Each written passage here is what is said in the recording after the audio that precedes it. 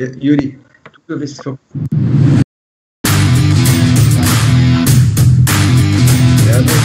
Obrigado.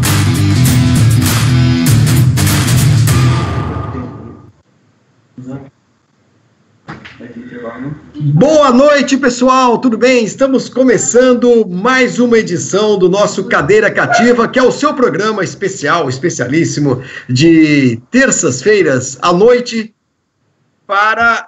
Uh, opa, deixa eu cortar o meu áudio aqui do meu YouTube e do meu cachorro também, que está latindo. Estamos um caos hoje aqui. Muito bem. É, agora sim, agora estou me vendo também. Estou me vendo, estou com a cara enorme. Não sei quem sou eu e quem é o Roberto Moreno, somos iguais. Eu sou de óculos. Eu sou o de óculos, muito bem. Olha, hoje nós temos um programa muito especial. Semana passada nós fizemos o Cadeira Cativa na sexta-feira, né? A gente acabou utilizando uh, o, o a efeméride né, do aniversário da, da morte do Ayrton Senna em, em Imola, em 1994.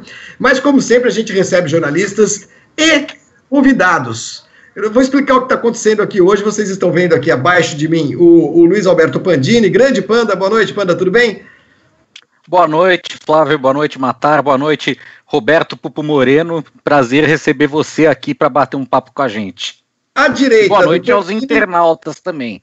Claro, à direita do Pandini, de barba, cavanhaque, óculos e também uma careca considerável, estamos com o Rodrigo Matar, meu colega de Fox Sports, também um dos mais históricos jornalistas de automobilismo do país. Boa noite, senhor Rodrigo. Boa noite, seu Flávio. Aqui é a confraria dos carecas, né? Tirando o Panda, né? Que não pertence ao time, mas um dia ainda há de pertencer. Boa noite a todos. Ah, obrigado, Matar.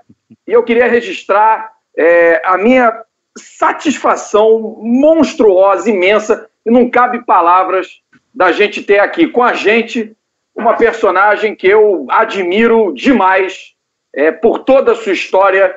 É, amigo que está acompanhando o Cadeira Cativa, vocês sabem de um cara que guiou de um tudo no automobilismo? Guiou até, duas, guiou até em duas rodas? É o moço que está com a gente nesse programa.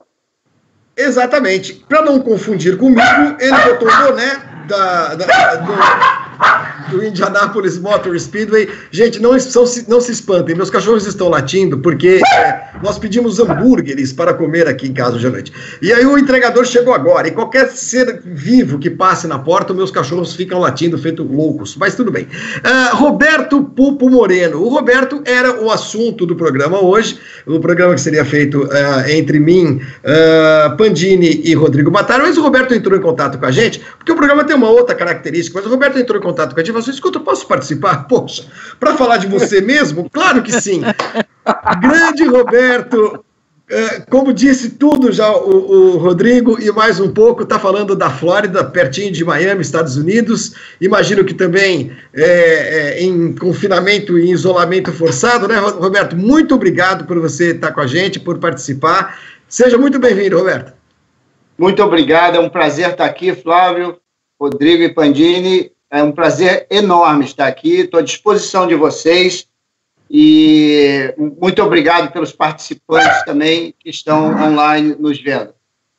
E são muitos, são muitos participantes. Eu peço para que todos utilizem aqui a hashtag Cadeira Cativa GP e entrem à sua direita, se você está acompanhando a gente pelo YouTube, à sua direita tem o chat, o super chat, vocês mandam as suas perguntas. Aqueles que mandarem as perguntas com uns cobres a mais, a gente vai ter, vai dar prioridade, é claro. São aquelas perguntas destacadas, mas encham a gente de perguntas, todas as questões que vocês quiserem fazer ao Roberto, ao Pandini, ao Rodrigo Matar. A mim não, porque eu sou apenas um mero apresentador. Muito bem. Roberto, eu vou dar o pontapé inicial. Eu tenho acompanhado muitas lives esses dias, é, tem sido muito gostoso. É, é claro, com toda a parte negativa de, de, dessa pandemia, dessa tragédia que se abate sobre o mundo, mas tem sido muito uh, prazeroso acompanhar entrevistas longas, conversas, bate-papos que uh, sem, sem, aquela limitação de tempo, né, Roberto? E que começam do começo, quer dizer, não pegam ninguém no meio da história e tudo mais. Então eu vou começar com você do começo. É, você é um cara que é, apareceu lá em Brasília no final dos anos 60, a minha primeira uh, memória sobre você, ou a primeira informação que eu tenho da sua, da, da, da sua trajetória no automobilismo, começa na Camber. A Camber, a oficina do Alex uh, Dias Ribeiro, onde o Nelson Piquet trabalhava e de outros amigos também. É isso mesmo, Roberto? Ou tem um, um Roberto Moreno é, AC antes da Camber? Bom, o Roberto Moreno antes da Camber é um menino que cresceu no Rio de Janeiro, em Copacabana. Com oito anos de idade, ou nove anos de idade, foi para a usina, a subida do Alta Boa Vista. Meu pai comprou o primeiro apartamento dele, ele trabalhava para o Banco do Brasil na época, e teve um, um, empréstimo de 30 anos. Ele comprou o primeiro apartamento da vida dele na usina da Tijuca, do lado da, de, uma, uma filmadora de, bem conhecida, no começo do Alto da Boa Vista. Uhum. E meu pai comprou uma Velosolex para mim, que era uma bicicleta com motor na frente, que tinha um negocinho no motor que rodava, encaixava no pneu. E eu, com, sei lá, eu devia ter nove anos de idade no máximo. Então, nove ou dez. Eu, naquela Velosolex, meu pai ia trabalhar no centro da cidade, de ônibus, eu pegava aquela Velosolex, subia o alto da Boa Vista, descia a estrada das Canoas, pegava a Niemeyer hum. e ia para o Leblon, na uh, Cupertino Durão, aonde meu primo morava, meus dois primos moravam, que eram as pessoas que me introduziram ao kart. Foi o meu primo uh, no Rio de Janeiro, Sérgio Pedra, que me introduziu uh, ao kart pela primeira vez no Rio de Janeiro, eu tinha menos de 10 anos de idade. E eu adorava ficar com eles. E eu tenho a Velosolex porque o outro primo, irmão dele, o Beto Pedra, convenceu o meu pai que era um negócio bacana de eu ter. E eu, naquela Velosolex, eu desmontava o motor e montava o motor com, no máximo 10 anos de idade, sozinho. Quando eu tinha uma dificuldade, eu ia no mecânico e perguntava, ele me ensinava a montar, tinha um mecânico ali em Ipanema, perto do meu primo. E antes do meu pai chegar em casa à noite, eu voltava todo esse trajeto para a usina de Velosolex. Às vezes, a minha maia estava muito cheia, eu subia a Rocinha e descia do outro lado. Olha isso. Eu já passei pela Rocinha várias vezes de Velosolex com 10 anos de idade. Nós estamos falando de 1969. Ah. Né? Porque eu fui tá, para Brasília é. em 71. Tá legal. E nós moramos ali dois anos na usina. Foi quando eu tinha Velosolex. E ela aguentava subir, o Roberto, porque a Velosolex sem também, pedalar. Era, sem pedalar. Era sem francesa, pedalar. né? Eu era tão pequeno, tão levinho, que ela subia sem pedalar, cara. Era o único cara que fazia isso. E, e, eu, não, eu, não, eu não botava o pé no chão da Velosolex, pra você ter uma ideia, tanto que eu era pequeno. E na descida do Alta Boa Vista, você tira o motor, encaixa na, num lugarzinho, desliga ele e desce na bicicleta. Uhum. E eu tentava fazer tudo sem frear. Às vezes não dava, mas algumas vezes eu conseguia. Capacete nem pensar, né, Roberto? Ah, naquela época não se usava capacete, não, tá? e nem Bom, existia para criança, mas vamos lá, vamos em frente, que tá muito boa aí, essa história. Aí, meu pai foi.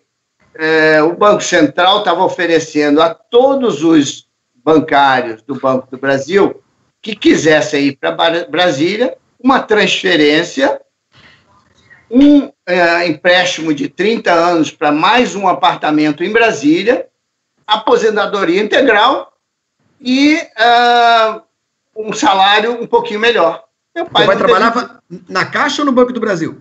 Ele trabalhava no Banco do Brasil. Banco do Brasil, tá. E o Banco Central ofereceu a todos uhum. os funcionários do Banco do Brasil que quisessem ir para Brasília esse pacote. E meu pai levantou a mão. Uhum. Eu, como era o filho mais novo, eu tive que ir com ele para Brasília. Eu, eu saí de Copacabana, eu pegava surf em pé numa planonda, que era aquele negócio de isopor. Poucas uhum. pessoas conseguiam ficar em pé naquilo, eu era um deles. Então, meu destino no Rio de Janeiro seria surf, com certeza. Uhum. A, a, não ser os meus primos que me levavam para o kart ou para a motocicleta. Bom, e o kart era onde exatamente aqui no Rio? O, o, era na Barra da Tijuca, que ele me levou duas vezes. Ah. Eu não sei aonde. Era uma pistinha bem simples, tá? Eu não me, não, eu não me recordo. Barra não hum. tinha nada, né? Aí, meu pai, para você ter ideia, ele tinha uma Vemaguete, ele botava a Velosolex, ele achava que eu só andava na Velosolex aonde ele me levava. Então, no sábado... No sábado, no sábado e domingo, ele colocava na Vemaguete e me levava para o recreio, onde não tinha ninguém para eu andar é. na Velosolex. Eu aproveitava e dirigia o carro dele no colo dele. Bom, quando ele foi transferido para Brasília em 71, eu falei, pai, você vai me tirar daqui? Eu preciso ter uma coisa melhor do que uma Velosolex em Brasília, né? Aí nós vendemos a Velosolex. Eu lembro que era um sábado de manhã, nós tínhamos acabado de chegar da padaria, chegou o comprador. E meu pai é, falou para mim, Roberto, eu preciso ir no banheiro. E foi para o banheiro e me largou com o cara lá. Bom, esse cara me enrolou Acabou que ele deu uma volta na Velosolex sozinho, eu estou esperando ele voltar até hoje. Não. ai, ai, ai, ai. Bom, moral da história, lá se foi a Velosolex. Aí, chegamos, eu falei, pai, eu, eu gostaria de comprar uma, uma, uma, coisa melhor. Aí ele foi na Cias, eu acho, e comprou uma Max Puck para mim, que era uma, um, um estágio a mais do que a Velosolex. E nós levamos isso para Brasília no caminhão de mudanças. Uhum. E eu lembro que quando chegou o caminhão, eu peguei a Velosolex, a, a Max Pulp, e já botei o capacete, que naquela época ele falou: ó, você só vai andar se for de capacete, o óculos e sair. Quando eu saí da 302 Sul, que é uma quadra, era uma quadra de militares, os apartamentos alugados para o pessoal do Banco Central, eu saí, o policial na Harley Davidson me pegou na primeira saída que eu dei. e me levou Você com quantos anos nessa altura? Ah, 11, é, é, eu tinha 12 anos. 12 né? anos. 12 anos. Aí é, me levou para minha casa e me levou para minha mãe. Falou: Olha, seu filho está andando numa motocicletinha, você sabe disso? Ai, aí ela me bateu na frente dele, fez uma cena e ele não me levou em cana, ele me deixou ali mesmo. Então, o que, que aconteceu? A 302 Sul é praticamente 500 metros da onde tinha a Camber, que era na 502 Sul, na W2. 503 Sul, perdão. A nova Camber, né? Eu não, eu não conheço a primeira Camber, eu conheço a Camber, a última Camber. E ali se vendia kart, motocicletas Yamaha e se preparava Volkswagen carros de rua. Era uma loja do Alex de Ribeiro e de três outros amigos. Eu conheci o Alex ali e o Zeca Vassalo, que era o chefe da oficina. Uhum. E é, eu vi as motocicletas lá e chegou uma mini Enduro que é a primeira motocicleta de menino. Mas enquanto isso, eu andei em Brasília durante um ano, um ano e meio em Brasília, com a Max Puck e fiz uma amizade do grupo de Max Puck, que eram filhos de ministros, filhos de deputados, tinha o filho do vice-presidente, e esse era o grupo que eu andava de motocicleta em Brasília. E e o Marcelo Mexicano, que era o melhor da motocicleta, eu, com a minha Enduro, eu andava tentando seguir ele, de, anos depois, né? Mas ele tinha uma, uma, uma Max Puck, e eu lembro que ele entrava na curva assim, e saía faísca debaixo da Max Puck dele. Esse cara faz isso, rapaz. Aí eu descobri que ele entrava na curva deitado, mas ele botava o outro pé no, no descanso e empurrava ele para baixo até ele encostar no chão. Bom, aí, depois de alguns anos, um ano e meio, acredito, é, um ano, um ano e meio de eu andar de Max Puck, eu convenci meu pai a comprar a minha Enduro, que é uma moto que eu tenho uma réplica dela aqui na minha casa, na sala de jantar. Hum. E, é, e a original está lá em Brasília. E ele comprou essa moto para mim, ela novinha, eu comecei a desmontar e montar, que nem eu fazia com a Velocilex. Só que algumas peças eu não sabia fazer direito. Aí eu levava lá na câmera, ia no mecânico de motocicleta, que era ali pertinho da minha casa, e falava como é que eu monto isso, como é que eu monto aquilo, e ele foi me ensinando. Ele viu a minha paixão pelo, pela mecânica, e ele tinha o maior prazer de me ensinar. E ele me ensinava tudo. Aí eu em casa montava, voltava, mostrava para ele, e assim foi. E durante aquele ano ali, eu saía da escola direto para a câmera. Eu não ia em casa. Eu saía da escola para a câmera. Meu pai me pegava na câmera. Às vezes ele me pegava na escola e deixava na câmera. E ali eu vivi muito tempo mexendo, ficando olhando o mecânico de motocicleta montar e desmontar as motos e consertar. E esse cara era o Nelson. Então, através dessa conexão com o Nelson, eu comecei a entender de motores, de motocicletas, dentro da Camber, tudo era possível. Brasília me ensinou, em outras palavras, a fazer o impossível acontecer. E a Camber foi importantíssimo nesse processo. Porque ali, bastava você ter uma ideia louca, você podia fazer. Então, preparava-se carros, eu estava lá dentro, eu estava olhando o motor, eu, o outro mexia na moto, eu estava olhando, eu estava ajudando, entregava uma chave. E assim eu fui criando, é, eu fui melhorando, criando experiência na minha curiosidade da mecânica.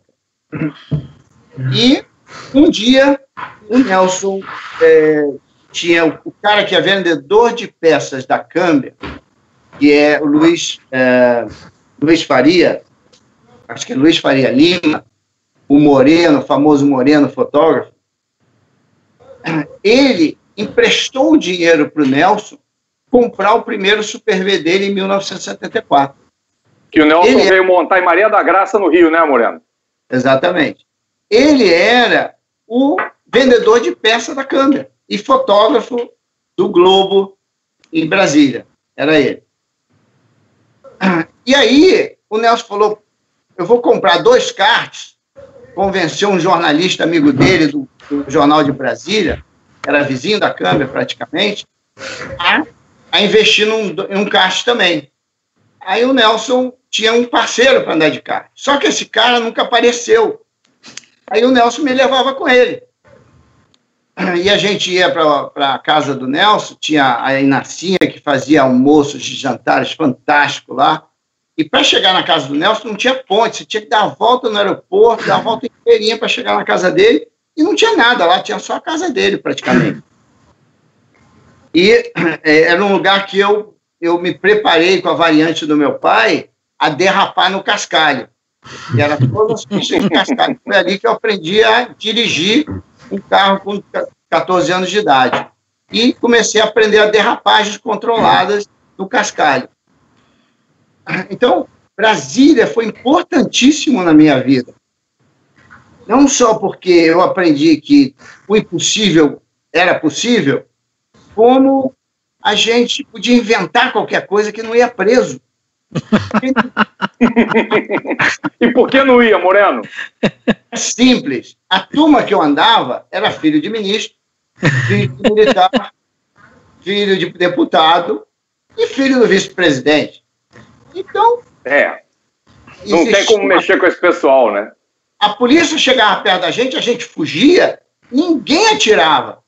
Porque todo mundo sabia que eram os meninos que tinham uma relação o meu pai era o mais simples, que era do Banco Central, coitado. Então, que coisa. Essa conexão, eu ter morado do lado da câmera, abriu uma porta imensa para o meu futuro. Conhecer o Nelson foi importantíssimo. Se não fosse o Nelson, eu provavelmente nunca teria ido para o exterior. Porque as palavras dele de, de convencimento foram tantas que eu tive que ir. É, e depois eu conto essa história, mas é, é, a Camber teve um, um, um, morar do lado da Camber, conhecer o Nelson, foi importantíssimo para dar sequência à minha carreira. Ô, oi, desculpa, Roberto, sem te interromper, desculpa. Vai lá, vai lá, vai lá. Não, não, eu, eu queria, antes de passar a bola para o Pandini e para o Matar também, é, eu juro que vai ser a última pergunta que eu vou fazer nesse comecinho sobre essa coisa de Brasília, que para mim, Brasília é, é, é, um, é, é, um lugar muito intrigante nesse começo da sua vida. Brasília, você está falando, Brasília tinha 10 anos de vida, de história, a cidade, né? É, por isso que era uma cidade onde realmente tudo parecia possível. Mas você falou agora há pouco, você saiu de Copacabana. Como é que foi a tua primeira impressão de Brasília? É, é, qual foi? Pô, você era um cara garoto da praia, garoto do garoto dourado do Rio de Janeiro e tudo mais. A tua primeira impressão, hora que você chega naquele descampado, você falou assim: eu vou morrer aqui de tédio? Eu não sei, como é que foi? Não. Brasília é o seguinte, naquela. Só tinha barro, aquele barro forte, sujava tudo. Você chegava em casa, sujava tudo, você não lavava seus pés antes de chegar em casa. Ah, as pistas de Brasília, as, as ruas de Brasília, foram feitas antes dos apartamentos, das casas. E foi tudo desenhado antes. E não tinha cruzamento nem semáforo. Então, Brasília tinha aquelas pistas largas desde o começo. E você vem em cima, faz a tesourinha e passa por baixo. Então, era um verdadeiro autódromo, gente. A polícia tinha Volkswagen 1200. Ou motocicleta. A motocicleta, nós tínhamos um respeito por elas. Mas uhum. não era sempre que eles estavam atrás da gente. Os, as patrulhinhas e as, as, os carros, os Volkswagen do Detran, que eram os dois que prendiam todo mundo, tinham, tinham uh, Volkswagen 1200. A maioria dos nossos pais tinham 1600. Então, era muito difícil o pessoal parar a gente, porque Brasília não parava, não tinha trânsito. Uma cidade feita, desenhada para 500 mil pessoas, tinham 70 mil pessoas. Então era fantástico Brasília. Brasília, andar de moto lá, eu me sentia liberto. Eu não tinha medo de carro. Então, foi um passo a mais para mim. Então, Brasília teve isso. E os amigos de Brasília inventavam coisas loucas. Tinha o famoso buracão, que a gente botava pega de moto, que é onde hoje tem a escola militar, o colégio militar. Tinha pegas no Pelezão, então, Brasília era cheio de eventos de automobilismo. Tinham três turmas em Brasília.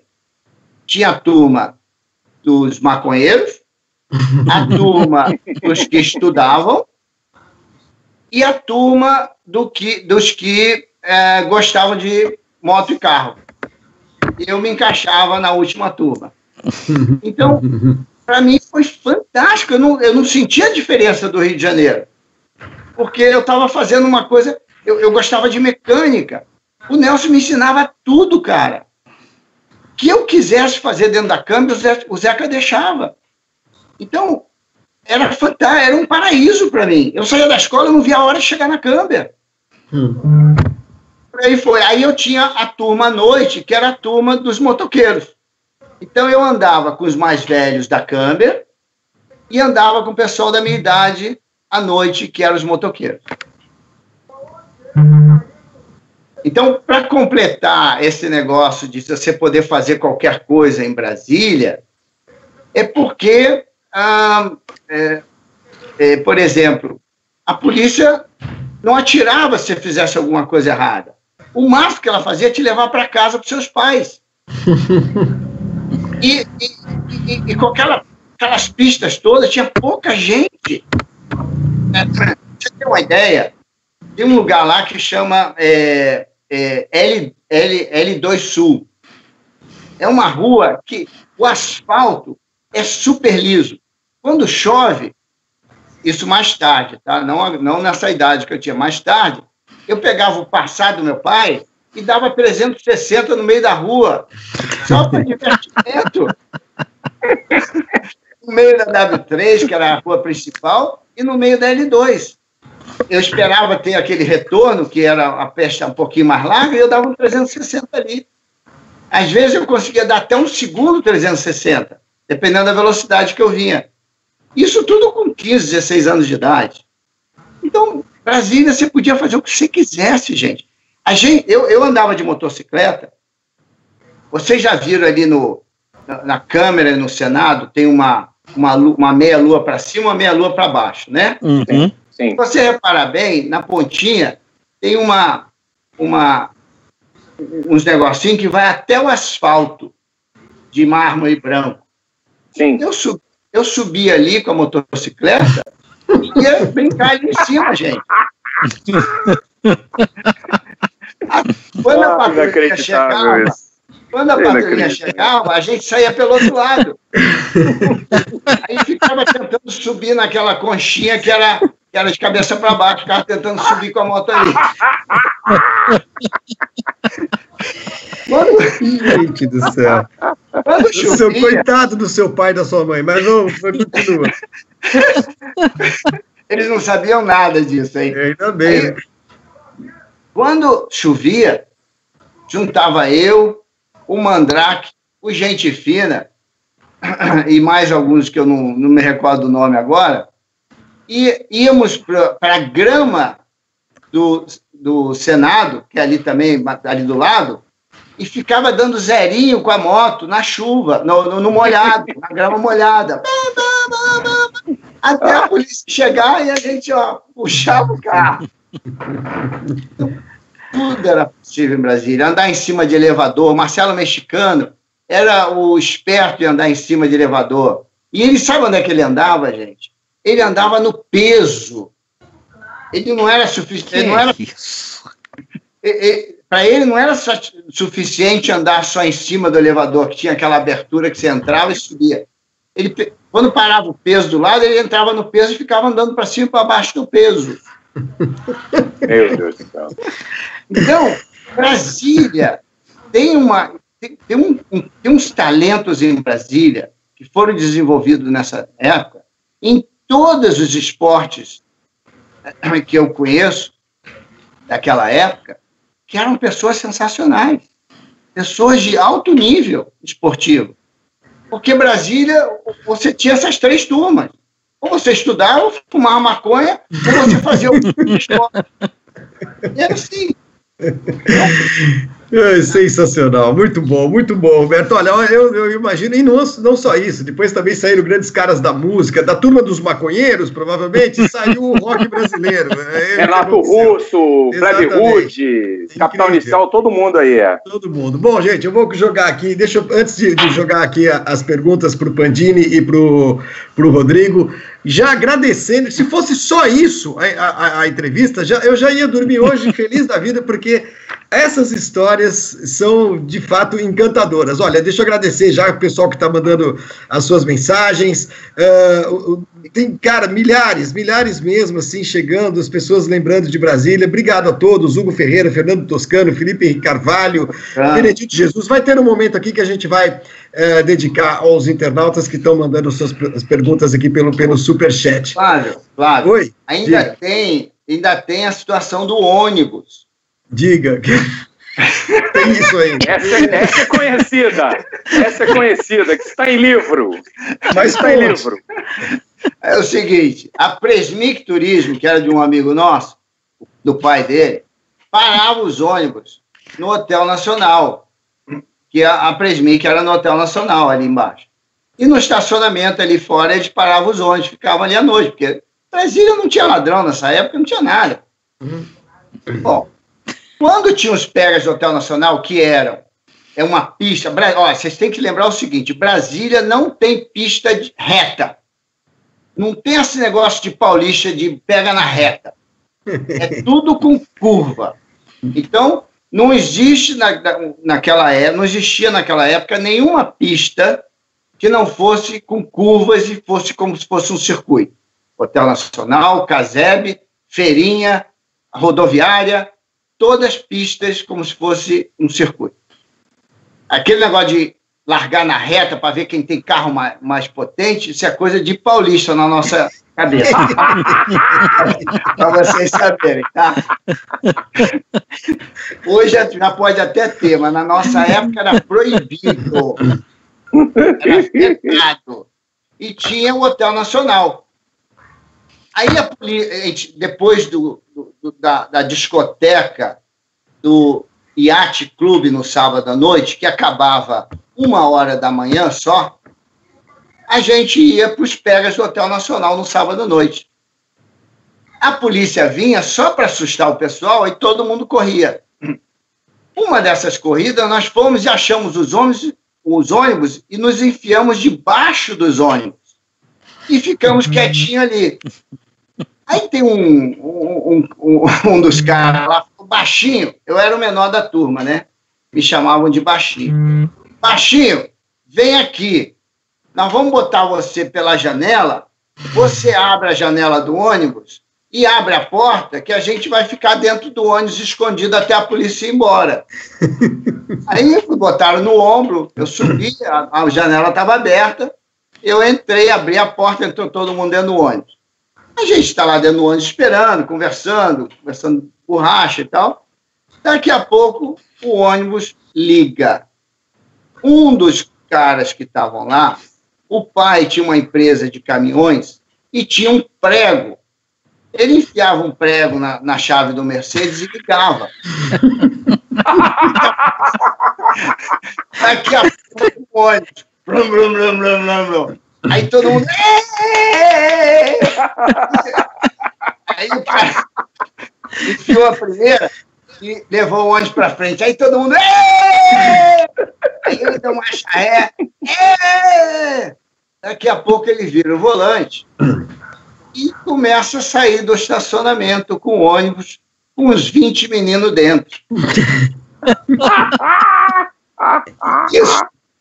Isso a polícia já tinha ido embora e, e o pessoal já estava voltando para o Hotel Nacional, para a pista do Hotel Nacional, que é um pouquinho mais embaixo. Nós fomos com o ônibus lá, o cara parou na frente de onde estava o pessoal, abriu a porta. Quando eles viram que eram os meninos, lotou o ônibus de menina. Aí todo mundo, Ê, vamos para a zona!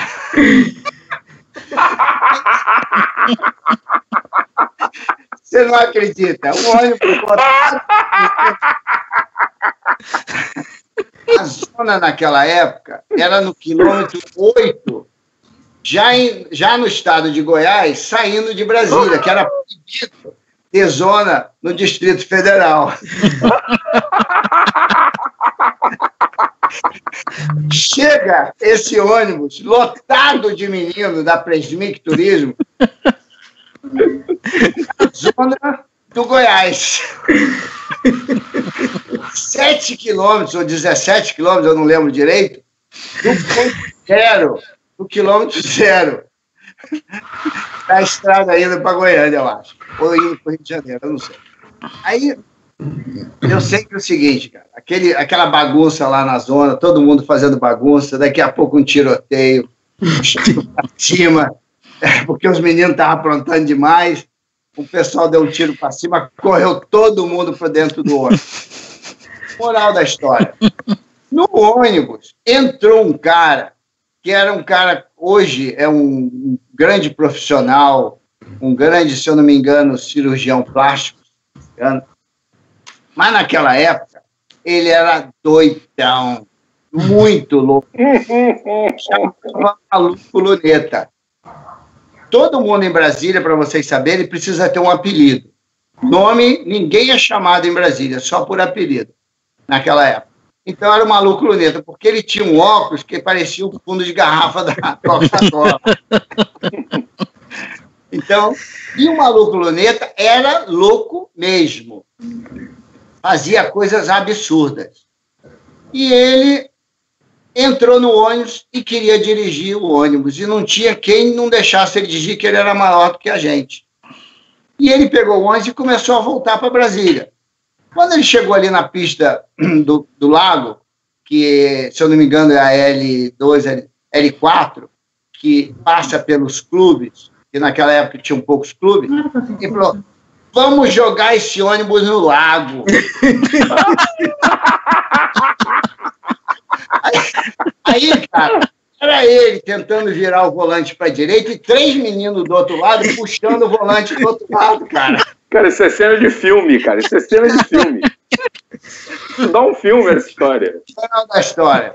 Nós voltamos, teve uns caras lá que juntaram os três em cima do maluco luneta, botaram ele para fora do ônibus, ele ficou por lá mesmo. E nós voltamos para o estacionamento do Hotel Nacional, onde a Presbic tinha os ônibus, paramos o ônibus ali e fomos embora. Daí para frente, virou moda roubar o ônibus. Só que eu não participei mais. Só que eu fiquei famoso por ter aberto o ônibus e ser o ladrão dos ônibus. Pegou a fama, hein, Moreno? Cuidado, hein? Aí, um dia eu tô lá em casa, bate o Presmic, que é o filho do, do dono da Presmic lá em casa, falou, pô, baixinho, para de roubar os nossos ônibus. Porque o pessoal começou a roubar os ônibus e deixar em outros lugares. Não devolvia. Teve um que atolou o ônibus no, no buracão, onde tem hoje o colégio militar, que chamava o buracão, que estava molhado o barro lá, e o ônibus ficou lá. O outro deixava em outro lugar, ficava com medo de ser preso. E aí eu fiquei famoso por isso. Olha, eu vou dizer uma coisa: o Roberto ter sobrevivido a isso é muito mais improvável do que ter sobrevivido a 30, 40 anos de piloto em corrida a 500 por hora em Indianápolis. Eu vou te falar um negócio. Muito bem, olha, o Alex Dias Ribeiro está acompanhando a gente aqui no, no chat também. Alex, um beijo enorme para você. É, eu tenho certeza que essas histórias todas você também sabe, viu? Você pensa que você é santinho aqui, ó. Uh, vamos lá, Pandini, faça a sua primeira pergunta então pro, pro nosso Roberto Pupo Moreno Baixo que lá em Brasília todo mundo tem apelido, então é o baixo. Vamos lá. Roberto, acho que depois de, de tudo ônibus, que você falou. Vergonha. É, não, mas, cara, acho que a, assim, a, a, vida depois que você saiu de Brasília deve ter sido um tédio, né? Tédio, imagina, em Morras, que porra, porra. Mas vamos falar um pouquinho de, de coisa séria, então vamos falar de corrida. No, nesse contexto, você começou a correr de kart, é dessa, uh, acho que a tua primeira incursão no kart já rendeu aquela famosa foto sua com o Nelson do lado da Kombi da, da Ideal, né? Como é que o kart surgiu na tua vida? E aí eu queria que você falasse também de quando você foi campeão brasileiro em 76, que parece que foi uma conquista épica. Você chegou lá. Aqui no Rio de Janeiro, inclusive, no Macmundi. Aí no Macmundi, exatamente. E aquilo foi um negócio assim: você chegou no, no, no Macmundi com um kart totalmente defasado, né? Um, uma, uma relíquia. Como é que, como é que foi isso? O que, que é o Bacmundi? Era um cartódromo que existia no, no Rio de Janeiro e que recebeu o brasileiro em 76. Era uma fazenda que o dono fez um cartódromo lá dentro. E, uhum. Inclusive, eu acho que a pista está lá até hoje. Olha. Você fez uma pergunta sobre Brasília primeiro. O que, que foi antes do Macmundi? Não, que devia ser um tédio a sua vida. Ah, do kart, do kart. Do kart, Isso, ah, você entrou no como kart. você começou a correr lá, é, até foto, junto é. com o Nelson. Bom, o Nelson comprou esses dois karts simplesmente para treinar antes de ele ir correr de Super V em 74 em São Paulo. Tem a história da, da Kombi, né? Que o Nelson pegou. O Nelson fez vários cursos é, à noite para ele poder sair de casa. Ele já contou essa história num outro live que eu assisti. E um deles foi de lanternagem de pintura. Então, o Nelson, para fazer uma Kombi para viajar em 74, ele comprou duas Kombi no ferro velho, uma batida de frente e uma batida atrás. Cortou ela no meio e soldou as duas lá na Ideal. E é, aí tem também, aí ele fez essa Kombi e depois faltou os faróis, a bateria, aquelas coisas de, de, de perfumaria. Aí a gente contatou a Robalto e, e, e terminamos de montar a Kombi do Nelson. Aí, que dinheiro naquela época era muito difícil, porque o pai do Nelson não dava para ele. Bom, e o Nelson teve que pegar dinheiro emprestado para comprar o carro de corrida dele. E aí, aquela foto, é, o Nelson comprou esses dois karts, o amigo dele nunca foi andar no kart com ele e ele me levava. A primeira vez que eu andei no kart, o Nelson falou, cara, tu leva jeito, meu. E dali para frente ele fez, fizemos duas corridas. Não, dali para frente eu convenci o meu pai a comprar o kart. Ele falou, Roberto, eu posso até comprar o kart para você, que nem eu comprei a sua motocicleta. Mas eu não posso pagar gasolina, pneu, essas coisas. Eu falei, pai, não se preocupa, o Nelson vai sair da câmera e eu vou trabalhar lá como mecânico de moto e vou pagar pelas essas coisas. Além de eu poder fazer motor de kart para concorrência. Então eu trabalhava no kart na, na câmera, no kart, no motor dos karts de todos os outros, de vários outros pilotos à noite. E no final de semana, no sábado, eu preparava o meu kart para ir correr no domingo. E assim eu comecei a correr. Eu fiz duas corridas junto com o Nelson. O Nelson foi para a Super V, vendeu o kart dele, e eu dei sequência na minha carreira em Brasília, num campeonato muito competitivo, com vários talentos que poderiam ter chegado na Fórmula 1 uh, com certeza, se tivessem seguido o meu caminho. Tem um cara em Brasília que chama Wagner Rossi. Sim. Se você vê a guiada desse cara naquela época, era melhor que a guiada do Senna. É mesmo, Moreno? A, a, a, a, a guinada que ele dava, a derrapada, aquele cara, eu queria guiar que nem ele. Era impressionante. E então em Brasília teve vários talentos. Não foi só o Alex, o Nelson, outros que correram lá. Que eu, eu posso passar a noite inteira aqui falando de nomes.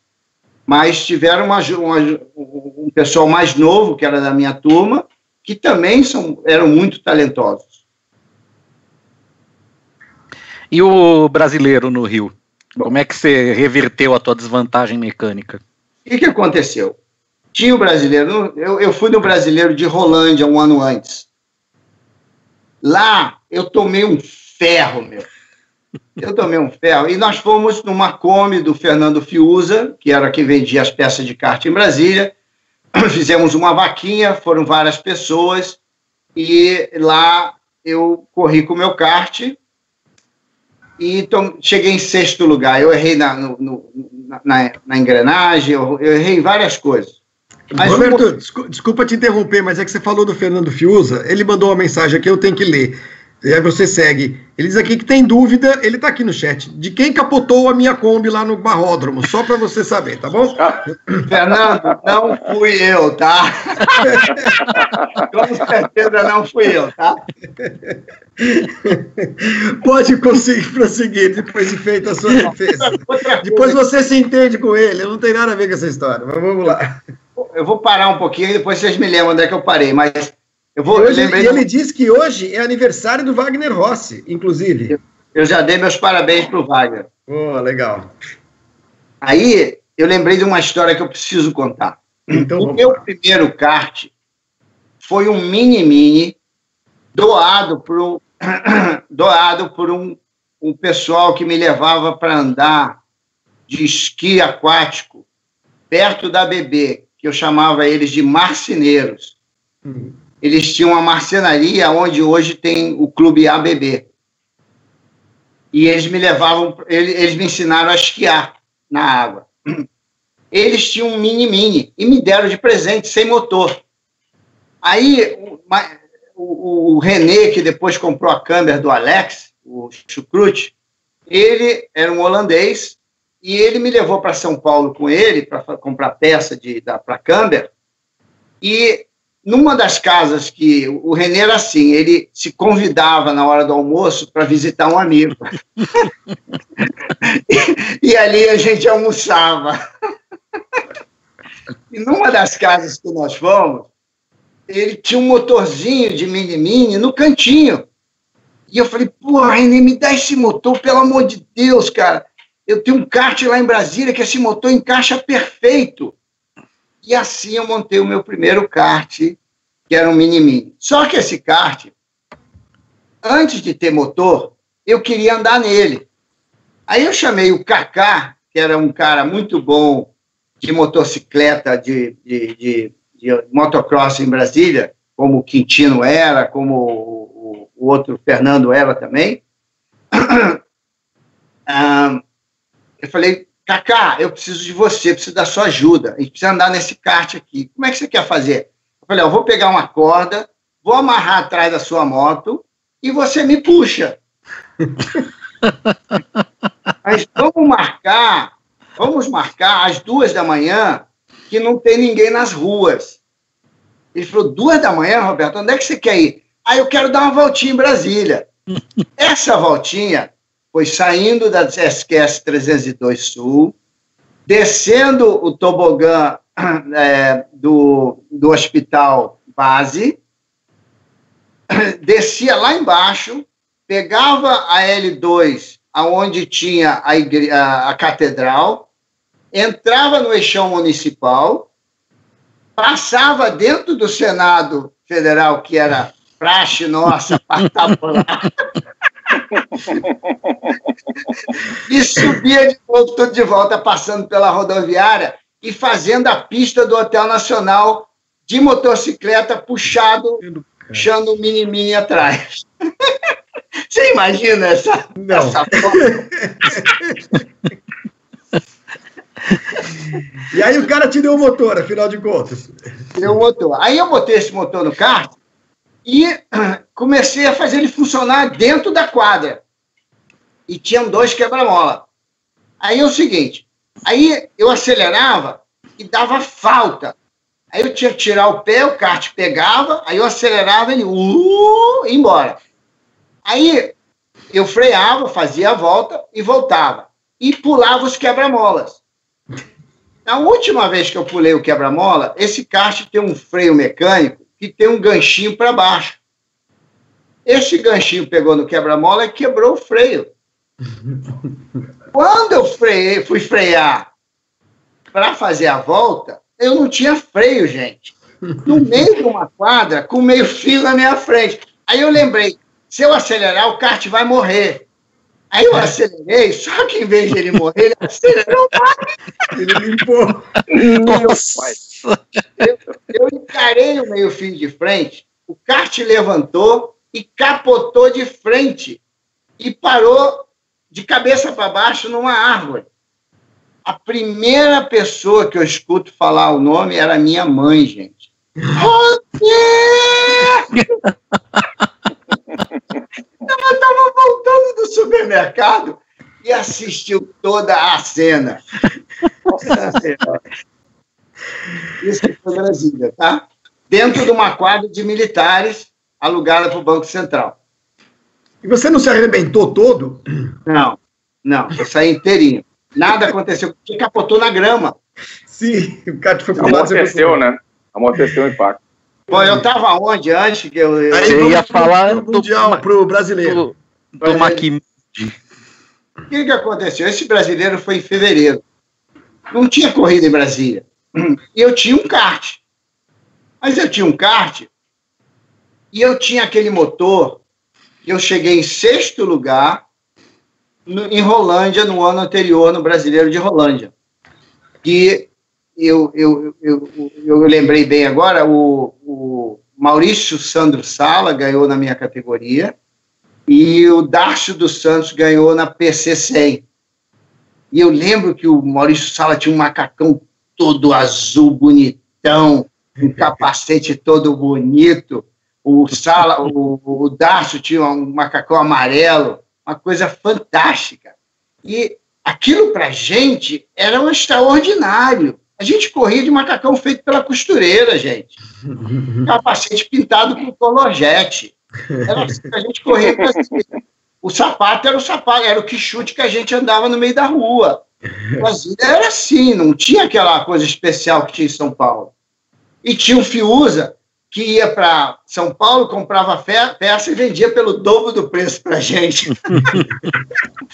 Fiuza, se você quiser, se defende aí, tá bom? À vontade. aí eu falei, pô, eu queria desse brasileiro.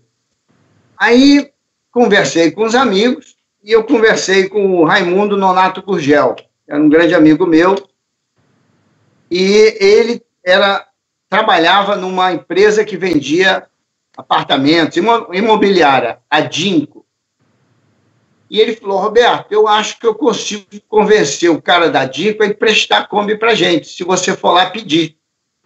Eu falei, é eu ou você que vai convencer ele?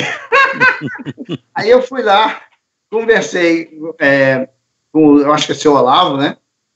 Da Dinco. E é, ele, ele falou, Roberto, eu empresto a Kombi para vocês sim. Eu falei que eu colocava o nome da Dinco no carro. E ele falou, mas só se você levar o Gurgel como motorista. Eu só confio nele como motorista, que vocês são meio malucos. Por que será que ele falou isso, né? Bom, aí, aí eu tinha só um kart, gente. Aí tinha um amigo meu lá, que eu estou tentando lembrar o nome dele, mas eu não consigo, que trabalhou na GM depois de muitos anos, ele tinha um kart que ele não ia correr. E me emprestou para ser um kart para tirar peça. Aí tinha um outro amigo que me emprestou um outro kart. Aí em Brasília, naquela época tinha o, o, o cilindro fino, chamava kit fino, e o cilindro largo. Eu tinha um motor guardado na gaveta, no, no armário, todo o tempo, desde o Rolândia do ano passado, que era um kit grande. E eu corria de kit pequeno. Só que em Brasília tinha um motor do Perobola, que era um kitinho fino, mas era um motor extremamente rápido. Eu convenci o Perobola a me emprestar aquele motor. Ele me emprestou, então eu peguei dois karts emprestados, um, um motor extra, e eu tinha o meu motor e aquele motor que eu guardei tantos anos. E assim eu fui para o Rio de Janeiro com pneus Pneubras. Chegando lá, eu fui visitar um amigo de Brasília que chamava Nhenhenhê. Infelizmente faleceu. O Nhenhenhê é porque ele tinha, ele botava um motor 1600, uma Kombi 1200, e o motor de partida era 6 volts. não, não, não, não, não, não. É para. Então, o Iê e o Claudão, que é um grande amigo do Nelson também, que faleceu também há pouco tempo, que ficou paraplégico nessa oficina lá em Jacarepaguá, que um motorista de caminhão que precisava do caminhão, ele não, ele não, não aprontou o caminhão a tempo, e começou a brigar com ele, ele deu as costas, saiu andando, o cara deu um tiro nas costas dele. Nossa. O Nelson ajudou esse cara até a, a morte dele, morando na fazenda dele. O Nelson é um cara que é um cara muito diferente que a imprensa fala dele no Brasil, tá, gente? Eu quero que vocês saibam disso, que todos saibam disso. Ele tem um coração imenso. Um cara que ajuda muita gente de coração. Mas ele tem aquele jeito de ser os jornalistas brasileiros por causa do evento lá com o Chico Serra, que vocês quiserem um dia eu conto para vocês. Mas, bom, onde é que eu estava? O motor E o motor do Macmundi. É. Aí, é, nós fomos para o Macmundi com patrocínio da Dico, que pagou a gasolina, a minha avó morava no Meia, eu tinha, nós tínhamos lugar para morar, e nós lotamos a, a Kombi com amigos, outros amigos que foram para se divertir no Rio foram também. Primeiro eles falaram que iam ajudar a gente. Quando pisou no Rio, sumiu todo mundo. Cada um foi uma namorada. Ficou eu, o Emanuel Basile e o, uh, e o Gurgel. E que fomos dormir na casa da minha avó. E uh, quando eu cheguei lá, eu fui visitar o Nenenê, né? Com o Claudão. Fui na oficina deles almoçar com eles lá, em Jacarepaguá. Ricardo Teixeira Alves era o nome dele, não é isso? É, esse mesmo. Nhen, nhen. Grande pessoa. Que virou neneném depois, né? Uhum. Aí é, ele, ele, ele, morreu na, na, na, na, na fazenda do Nelson com uma mordida de abelha, eu acho, ou de marimbondo. Ele, ele, começou a passar mal, botaram ele no carro, mas não acharam que era uma coisa muito séria. E quando foi ver, ele, tava, ele parecia que estava falecido ali nessa situação. Bom, aí ele falou, Roberto, aqui do lado tem o Alex, que é o esperto de kart no Rio de Janeiro. Tá bom, vamos lá conhecer ele depois do almoço? Eu falei, vamos, claro. Aí, foi eu, eu, o Gurgel e o Emanuel Basile, que hoje, o Emanuel Basile, ele passou a ser um engenheiro da Embraer, que cuidava de todo o som da, dos aviões da Embraer durante anos. É muito religioso ele, uma família grega. Depois tem uma história com ele, por isso que eu estou contando dele aqui. Lá, a, a, a história da Benetton, ele está envolvido. Aí, ele é, é, eu, eu, perdi o fio da meada aqui, se você me lembrar. Você, levaram, você foi no Alex? O Alex, o especialista de ah, kart do Rio. Especialista de kart do Rio. Depois do almoço, hein? Quando eu conversei com ele, ah, vamos ver teu kart. Quando eu abri a Kombi, ele bateu o olho no meu kart, cara. Cara, o que, que tu veio fazer aqui? essa, essa merda tua aí é de três anos atrás, cara. Esse, esse volante aí de um parafuso, de dois parafusos, não se usa mais. Esse freio mecânico, isso é coisa de museu, cara. Esse quitinho fino aí, cara, esquece. Os paulistas aqui, os carioca vão te matar, meu. Vamos voltar para casa. Cara, deu um bolo no estômago, meu. Deu um bolo no estômago. Eu falei, caramba. Ficou todo mundo calado. Ninguém conversava com mais ninguém. Voltamos para casa da minha avó. Chegamos lá, minha avó não falou, ela preparei o jantar. Eu falei, vó, ninguém está com fome aqui. aí, aí o Manel falou uma coisa para mim muito bacana. Ele falou, cara, nós estamos aqui. Você tem um patrocínio da. Se você não correr, vai ficar chato. Eu queria voltar para casa. Eu, eu, o Alex tinha me convencido que eu estava com o equipamento errado. Aí é, o Emanuel falou: olha, cara, nós já estamos aqui. É, por que, que a gente é, não vai usar isso para conhecimento?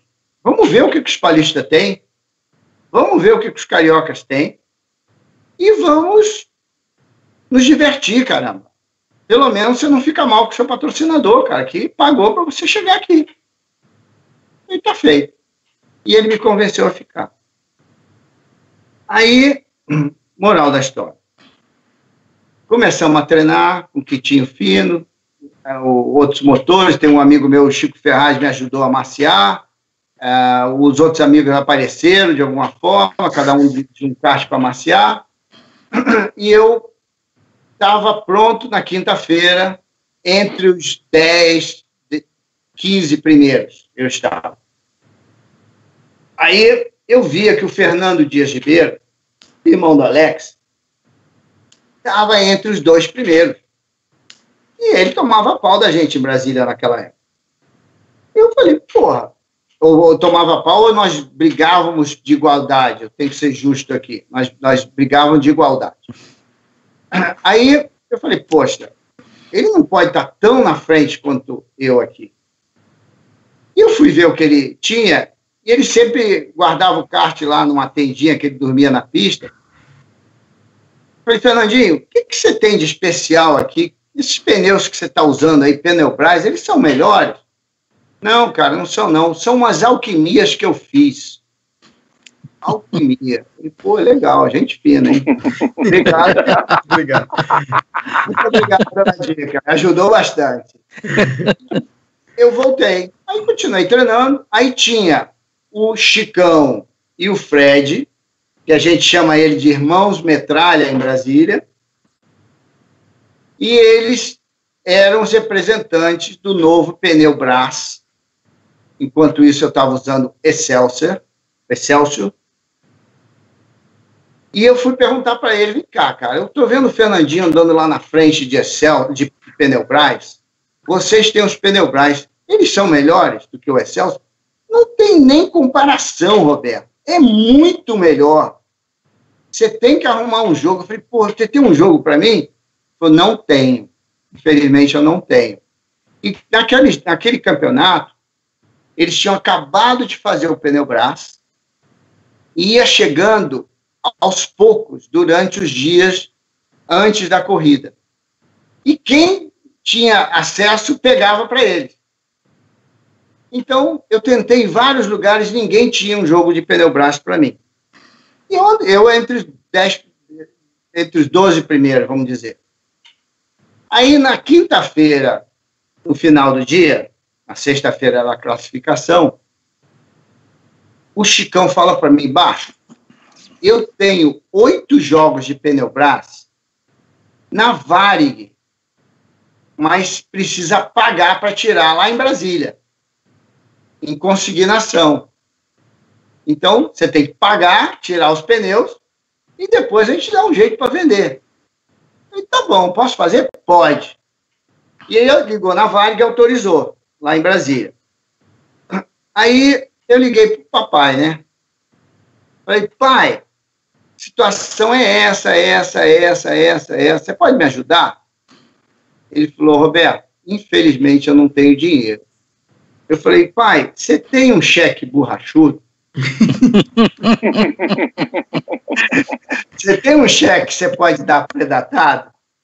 Falou, tem, filho, mas eu nunca fiz isso na minha vida. Falei, pai, você pode abrir uma exceção para mim? Porque tá todo mundo com esse pneu na minha frente aqui e eu preciso desse pneu para ver se eu sou bom nesse negócio aqui. Eu tô com o kart meio ultrapassado, mas tem um cara lá de Brasília mesmo que está andando lá na frente. Eu acho que se eu tiver os pneus Brás, eu vou andar perto dele.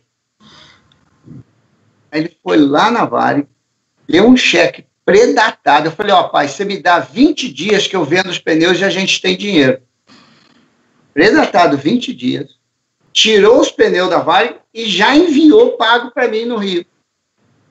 Na sexta-feira, às seis da manhã, nós estávamos no Galeão com a Kombi, eu, o Gugel e o Emanuel, pegando esse saco enorme de pneu. Tinha pneu que não acabava mais. Só que tinham três jogos de pneu, A, B e C. E eu não sabia qual era qual. Aí eu, eu tinha que montar o pneu, era uma dificuldade de montar naquela época, porque você tinha que colar, eram duas faces da roda, você colava, botava um anel de borracha para não vazar, para ser pneu sem câmera. Aí eu tinha que montar os pneus no caminho do cartório para classificação. Aí eu comecei, eu falei, caramba, qual é o jogo que eu monto? Aí eu fiz Uniduni te salame e caiu no pneu certinho. Que era o C. Eu não lembro o que, que era, mas Seria era o pneu o mais mole. certo. Tá? Era o mais mole. Aí eu montei, entre o aeroporto até a Barra demorava, deu tempo de montar. Quando chegou lá, eu enchi os pneus, botei no kart e fui para alinhar a classificação. Eu cheguei lá, o pneu naquela época era assim, ó. Você precisava dar umas 10 voltas com ele para ele amaciar. Eu alinhei na classificação com o pneu novo. Com kit fininho do Perabola e um nome escrito Araçá na frente, que não tinha nada a ver com Araçá, mas eu botei porque eu era amigo do No. Aí o no, o no tinha feito o meu motor que estava guardado no armário. Aí o No chegou para mim e falou: Cara, que isso, cara? Tu vai sair com esses pneus novos? Falei: No, é o único pneu que eu tenho, cara. É melhor do que os Excelsior. Esse pneu assim, são melhores do que o Excelsior, pelo que eu estou entendendo. E esse motor, cara, falou, cara, esse motor é rápido pra caramba, não se preocupa.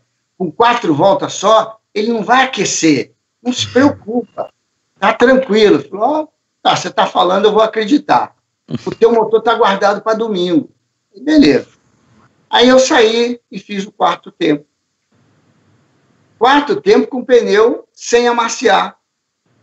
Então, eu falei, caramba, eu tô no, eu tô no bolo. Negócio. o freio mecânico já não é tão ruim. Aí eu na, é, amaciei o, o, os pneus na, no warm-up de domingo, botei o um motor grande no kart, kit grande, e fui, e fui fazer um tempo. Aí o Sérgio Slaviero, cara, veio para mim e falou: Baixo, eu te peguei aqui o tempo. Se você fizer esse tempo na corrida, tu vai ganhar essa porra, cara. Eu falei: Sérgio, não conta pra ninguém, tá? Fica quieto. Aí, cara, largou. É, o Fernandinho na pole position, pulou na frente, eu pulei atrás dele eu acho que atrás de mim estava o, o Guto Negrão, se eu não me engano, que era o próximo. Guto Negrão cara. correu.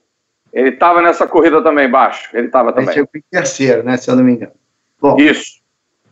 Aí eu fui atrás do Fernandinho. Tchan, tchan, tchan. Aí eu vi que o negócio estava bom para mim. Só que o Fernandinho eu, começou a me fechar, cara. Eu detesto gente que me fecha. eu aguento aguento, aguento. Eu, eu gosto daquele cara que te dá uma passada fantástica, que você respeita, você sai para ver o cara te passar. Aí você fala, caramba, que bacana. Aí você vai e dá uma outra nele. Eu sou dessa época, que você respeita uma ultrapassada bem feita. Eu detesto gente que me fecha.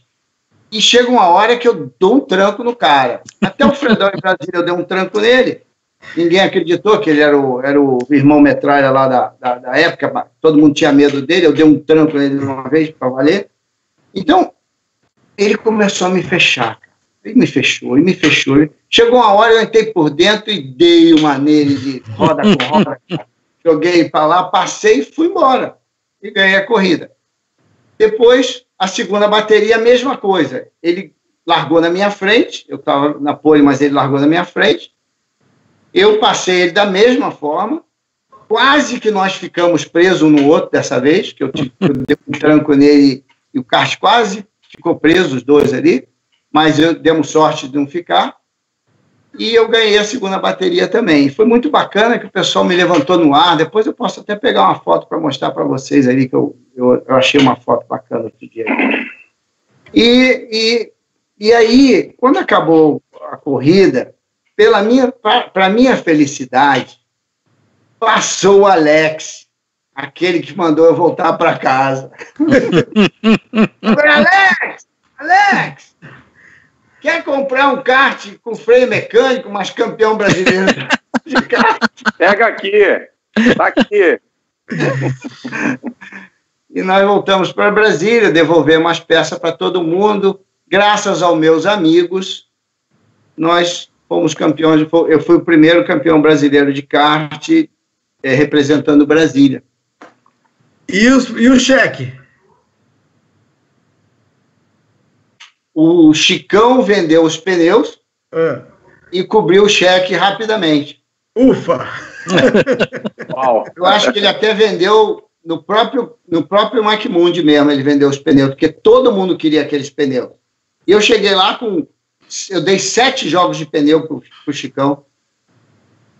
Que demais. foi muito legal. Se não fosse os meus amigos, cara, eu não teria é, concretizado isso. Esse troféu tá aí atrás, o, o Roberto, do brasileiro? Ah, no, o, o, brasileiro tá lá em cima, cara. Mas, Mas eu tá com você.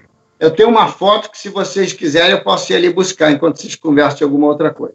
Se você quiser aproveitar e tomar uma aguinha e pegar a foto, fique à vontade. E aqui a próxima pergunta a gente já prepara aqui com o Rodrigo Matar. Fica à vontade, Roberto. Se você sai, inclusive, a gente fica olhando para as taças, não tem problema nenhum. Não, e só, só, só para fazer uma introdução para o amigo que está acompanhando o Cadeira Cativa com a gente, o nível dos pilotos que havia no Macmundi em 76 é um troço assim absurdo.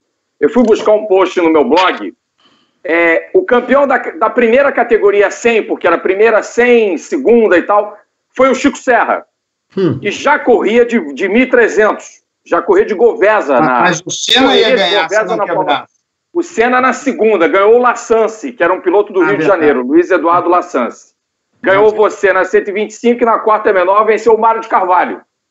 E Sim. no top 5, o top 5 da categoria do Moreno foi ele, o Fernando de Egibeiro, o Guto Negrão, o Luiz Carlos Vilmar Júnior, que depois foi correr de Fórmula Volkswagen 1300 e Fórmula Fiat, e o Carlos Coll, da Vicar. O Carlos Coll foi quinto colocado na categoria do Moreno. Olha só, a Dinco, né? Era o patrocinador, não é isso, Rodrigo? Número 139, olha isso. Número cara. 139. Roberto novinho, magrinho, pequenininho de tudo. Putz, grilo. Olha, olha essa. Legal isso. 17 anos, né, Baixo, que você tinha, né, em 7 e meia. Ah, né? te levaram, te levantaram para comemorar, é isso, né, Roberto? Aí tem a última foto aqui. Que demais, cara, que demais. Olha, que legal. Que demais, fantástico, cara, fantástico. Roberto, eu sei um que existe um livro sendo escrito, é, uma biografia sua, que está sendo escrita há alguns anos pelo jornalista Márcio Madeira da Cunha. Em que está essa biografia? Quando que a gente vai poder lê-la? Bom, essa aí eu não sei ainda quando é que a gente vai poder essa ler. Essa foto tá? eu conheço. A famosa Mas foto. Essa foto eu, eu conheço bem. Eu gosto muito do Márcio, a maneira que ele escreve. Eu estou pedindo a ele para escrever o máximo possível com as minhas palavras. E um, o Márcio, o Márcio, infelizmente, ele casou nesse processo ele eh, arrumou um emprego e ele teve, eles tiveram um filho. Então está um processo um pouco lento. Eu, eu até vou cobrar o Márcio um pouco para a gente dar uma acelerada. E eu também sou culpado um pouco porque eu não dei muita atenção, tá? Agora Esse me fala, quem é nessa foto que está o outro kart voando? Quem que está voando? É você? É o, é o, é o REC. É o REC. Esse aqui já é o campeonato de kart em Brasília, de, 70, de 77. Eu larguei em último lugar. Tem uma história também da, do motor desse aqui, se vocês quiserem escutar, eu posso até contar depois. Eu larguei em último e passei esse cara por cima que ele começou a me fechar. Como eu já falei para vocês, eu não aturo muito bem esse negócio de fechada, tá? Eu sou um cara que, que adora aquele cara que dá uma passada. O Wagner te dá uma passada que a gente chamava em Brasília a gente chamava de costumeira, que era uma derrapada para cima de você. Quando a gente escutava aquele pneu derrapando do teu lado, respeitosamente você saía para o lado para o cara passar. Isso era Brasília. Então, é, e depois você dava a mesma coisa no cara. Então, Brasília tem a famosa passada costumeira, como tudo em Brasília precisa de um apelido, né? o apelido é costumeira. Vamos lá, fala, Rodrigo. Ô, Baixo, é, vamos dar um pequeno salto no tempo. É, você ganha o Brasileiro de kart, continua correndo aqui, e a partir de 79 você inicia a carreira internacional. Você vai para a Fórmula Ford, certo? Não? Assim Ainda fez o que então antes? Então explica para gente como é que foi a gente é, chegou no Brasileiro de Kart e fomos fazer uma corrida em Goiânia de kart. E aí, é, era uma corrida eu, bala, bala, era um kart Max Mini. Então nós resolvemos botar o Max Mini dele para correr em Goiânia. Bom, encurtando a história, nós fomos com o Max Mini na corrida de Goiânia, na semana seguinte do Campeonato Brasileiro de Kart, se eu não me engano. Chegamos lá, os goianos me colocaram na pole position é, honorária, entendeu? Por eu ter sido campeão brasileiro de kart. Então estava eu de Max Mini na frente dos Mini SS todos. A gente ia tomar um pau enorme. Aí o que eu fiz? Eu tirei todo o chumbo do kart eu e o Beto éramos levinhos e tirei o chumbo do kart inteirinho. Aí, eu de Max Mini, andando na frente dos Mini SS, na frente dos Goiânia, não estava entendendo nada. e como era uma corrida para se divertir, a gente nem se preocupou em chegar no final. E até chegou a segunda parte da corrida, o Beto montava no kart, e até depois a gente bateu e não terminamos a corrida. Mas nós lideramos a corrida de Max Mini no meio da, da, da, do pessoal que tinha uns karts muito mais, muito mais avançados. Bom, duas semanas depois tinha outra corrida em Goiânia. E eu, em vez de ir para essa corrida, eu resolvi botar um peguinha de moto no Pelezão. E esse peguinho de moto, eu caí, era um peguinha entre amigos. Eu comecei, eu estava com uma minha Enduro que não era minha, era do Esforçadinho, e o Esforçadinho... Eu estou adorando os apelidos. Os apelidos são sensacionais. o Esforçadinho hoje tem uma empresa de ônibus muito bem sucedida lá em Brasília. Ele é de São Luís. E ele me emprestou essa mini e eu tirei o escapamento dela, não consegui soldar no sábado à noite para limpar e a moto não rendia. Aí eu comecei a aprontar, ficar em pé, fazer besteira e tal. Moral da história, eu caí, quebrei o meu tornozelo direito no tombo, mas eu não sabia que o meu tornozelo estava quebrado. E eu fiquei em pé. Quando eu fiquei em pé, o osso quebrado, ele saiu pela pele. Aquela, aquele osso é, saiu pela pele, levando tudo. E eu não senti nada, nenhuma dor. Aí eu caí de novo. Quando eu caí, que eu vi que tinha aquele osso assim para fora da meia. Eu estava de quichute, meia e calça jeans. A minha mãe, inclusive, falou: Roberto, você não vai botar uma bota, vocês vão correr de moto, põe uma bota. Ah, mãe, não preciso não. Eu ainda lembro falando isso saindo de casa. Moral da história. Essa, é, essa fratura exposta, eu destruí o malhero externo completamente, eu quebrei em três lugares o malhero interno e eu quebrei o talos no meio. Naquela Nossa. época, colar um talos no meio era quase impossível porque ele tem uma irrigação sanguínea, e se não tiver no lugar certinho, não irriga. E se colar demais, ele tampa aquele buraco de irrigação. E o, o osso morre. E me levaram. Aí, quando eu caí, o Ortega, Ricardo Ortega, que esse é o nome dele mesmo, né? Uh, ele veio com o Davi Troncoso, e me pegaram, me botaram nessa caminhonete Jeep, me levaram para o Hospital das Forças Armadas, que era o mais perto dali. Graças a Deus eu fui nesse hospital e lá eu encontrei o doutor é, Procópio de Noronha. Faleceu, acho que tem uma semana. Faleceu, é, tem, tem, tem, tem um mês que ele faleceu. E tem uma coincidência no dia do falecimento dele, eu esqueci qual que é. Ah, e ele, se não fosse ele, cara, eu tinha perdido meu pé. Nossa. Eu cheguei lá com esse osso para fora assim, ele pegou soro, saiu espirrando no osso assim, tal, tal, pegou o pé, fez crão, voltou para o lugar e foi fazer, é, foi fazer radiografia. Aí ele falou, Roberto, a gente precisa, eu fiz uma operação em emergência em você, quando eu acordei, e você precisa, a gente precisa esperar 12 dias.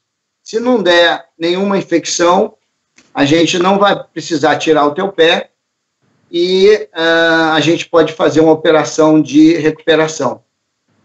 Então, 12 dias depois, nós fizemos uma operação de recuperação. Ele colocou dois parafusos no talos, um médico muito bom lá do, do, do, do Forças Armadas também. Mas se não fosse os a presença de espírito do Dr. Procópio, eu não tinha ficado bom.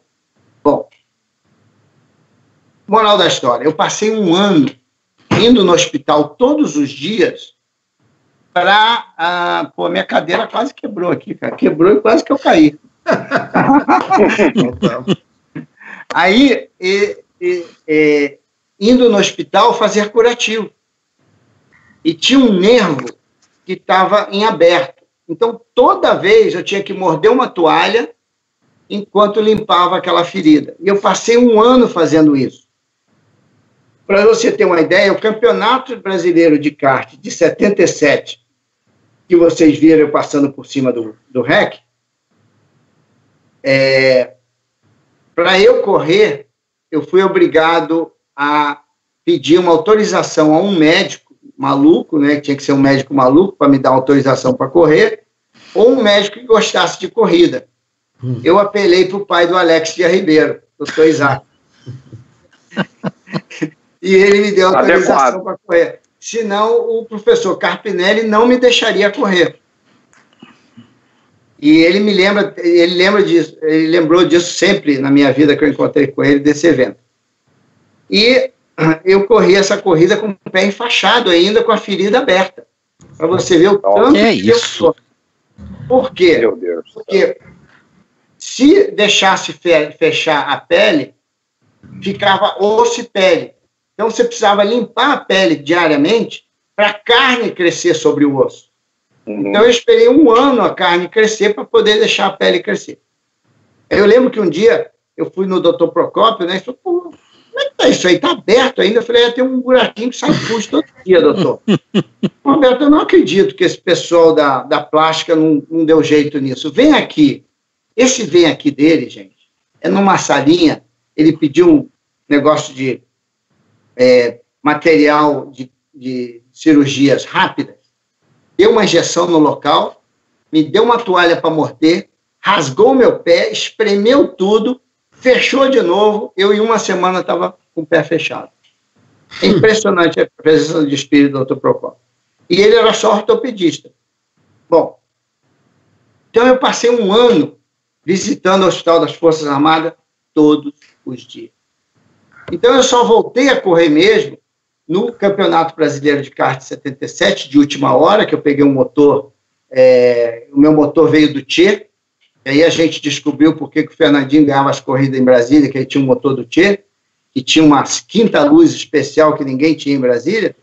Aí eu fiz um motor no Tchê, e uh, esse motor chegou no sábado à noite, e eu na, corre... no, no, na sexta noite, mas eu na correria de achar um médico para pegar a permissão para correr, eu não tirei o motor do, do, do aeroporto. Aí o que, que eu fiz? Eu lacrei um motor que não que falhava. Aí quando eu peguei o meu motor no sábado à noite, ou no sábado à tarde para correr no domingo, eu comprei o mesmo colorjete de lacragem do motor reserva, do motor que eu lacrei, comprei aquele negócio de fazer o número e coloquei o mesmo número nesse motor que chegou do Tchê. E corri com esse motor, mas eu, eu tive que largar em último, porque eu não, eu não tinha classificado bem. E eu estava já, é, em, eu passei o sétimo lugar por cima, e já estava em quarto lugar, se eu não me engano. O Tchê falou: olha, começa a afogar. Se você largar, ele, ele pensou, se eu largasse em quarto na, na, na final, eu ganharia talmente eu estava veloz, eu cheguei de último até quarto lugar. Aí ele falou, afoga, afoga, afoga. Aí eu comecei a afogar para manter o motor é, bem e soltou um negócio dentro do carburador e meu kart morreu. E a gente não conseguiu fazer ele pegar para a final e eu aquele campeonato parou ali. Mas esse negócio de lacrar o motor no sábado à noite em casa foi também uma, coisa de Brasília. Gente, nós estamos com uma hora e meia de conversa, tá uma delícia, e nós estamos no kart ainda. Não sei o que eu vou fazer com esse cara agora, daqui a pouco aqui para frente. Oh. Fala, Matar, vamos pular para alguma coisa de carro para ver se a gente Não, consegue, então, porque é... as histórias estão tão boas, eu acho que nós vamos ter que fazer uma parte 2, 3, 4. Com certeza. É. Fazemos vamos, um vamos, vamos, tentar, vamos tentar chegar à Europa, né, Moreno? É, você falou do Nelson, da importância que ele teve, do aprendizado que você teve com a Camber desse cara que eu eu não sou da fase da imprensa, não sou dos colegas de imprensa que tem é, ranço do Nelson, não.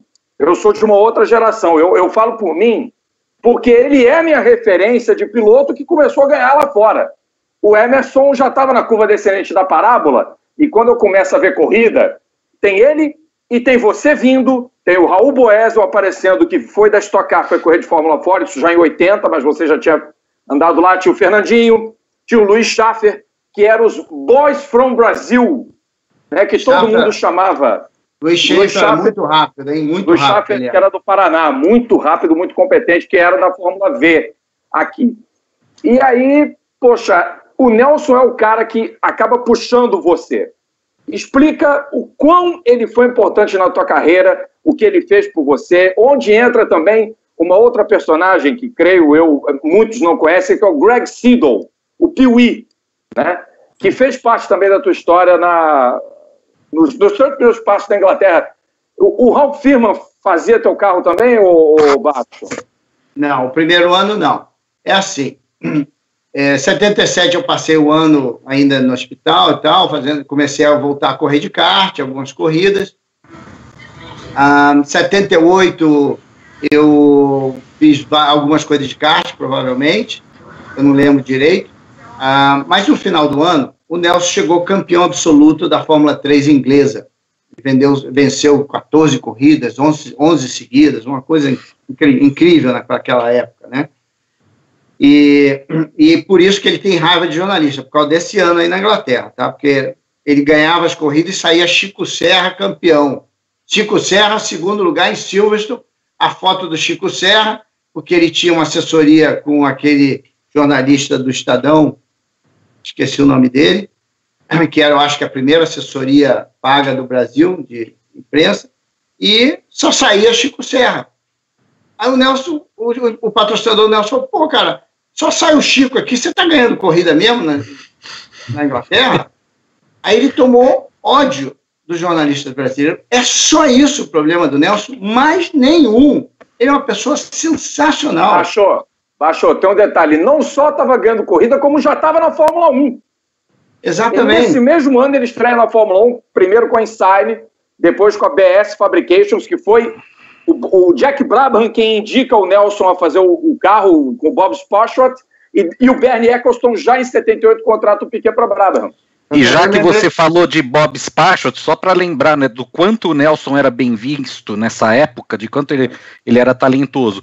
O Bob Sparshott, em 78, quando o Nelson assinou o contrato com a Brabham, o Bob Sparshott bancou a seguinte aposta: ele vai ser campeão em no máximo três anos, eu aposto todo o meu dinheiro com quem quiser. A gente o, sabe o que Panda, aconteceu. Esse foi, esse foi, o David Sims, que era o chefe de. Ah, de foi o David da, Sims, da é verdade. Fabrication. Foi o David Sims, esse é verdade. David Sims. Foi o David Bom, Sims, tem razão. É, é, então o Nelson, o Nelson ganhava lá, ele foi correr de Fórmula 1, voltou e ganhou a última corrida. A, a, a Auto Sport inglesa saía The King is back. O rei está de volta. No Brasil, Chico Serra segundo em Silverstone.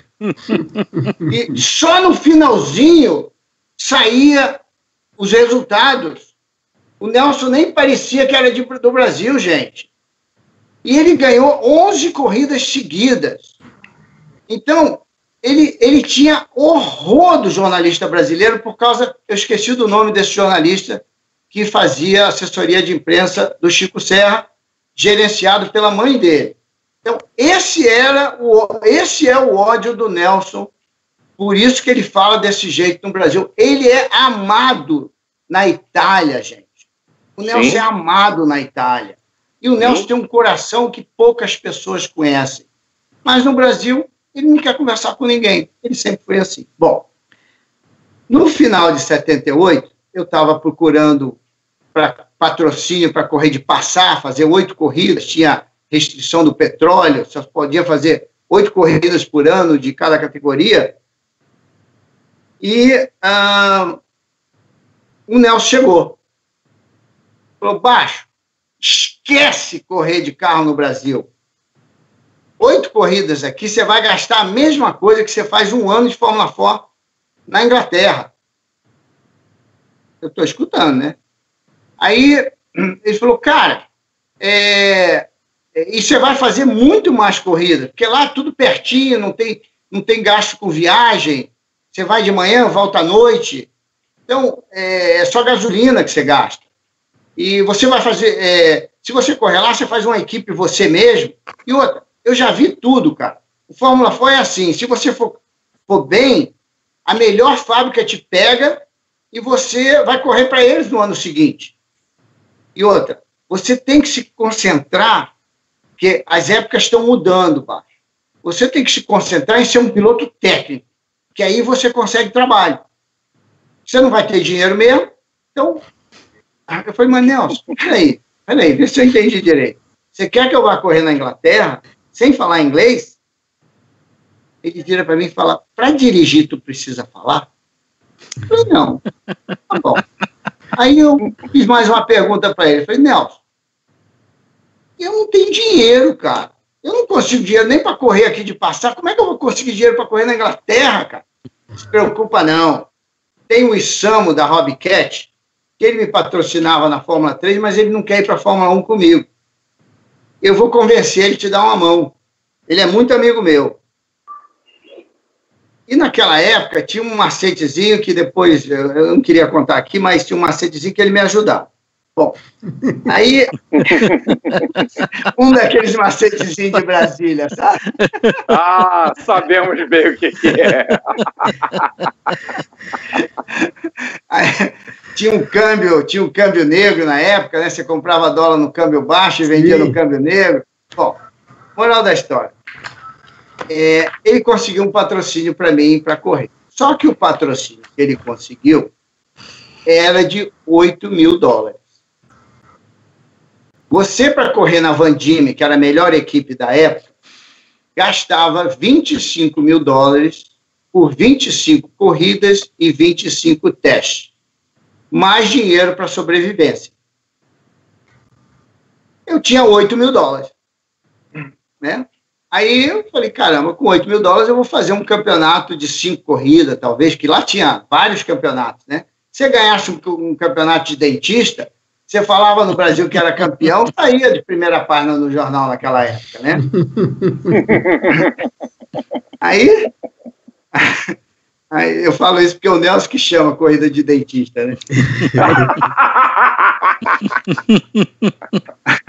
aí é, é, eu eu apelei para o Valtinho Ferrari. Falei, Valtinho, a minha situação é essa eu preciso arrumar mais dinheiro. Ah, deixa comigo. Vamos no banco francês e brasileiro às 5 da tarde. Era naquela época que tinha o overnight.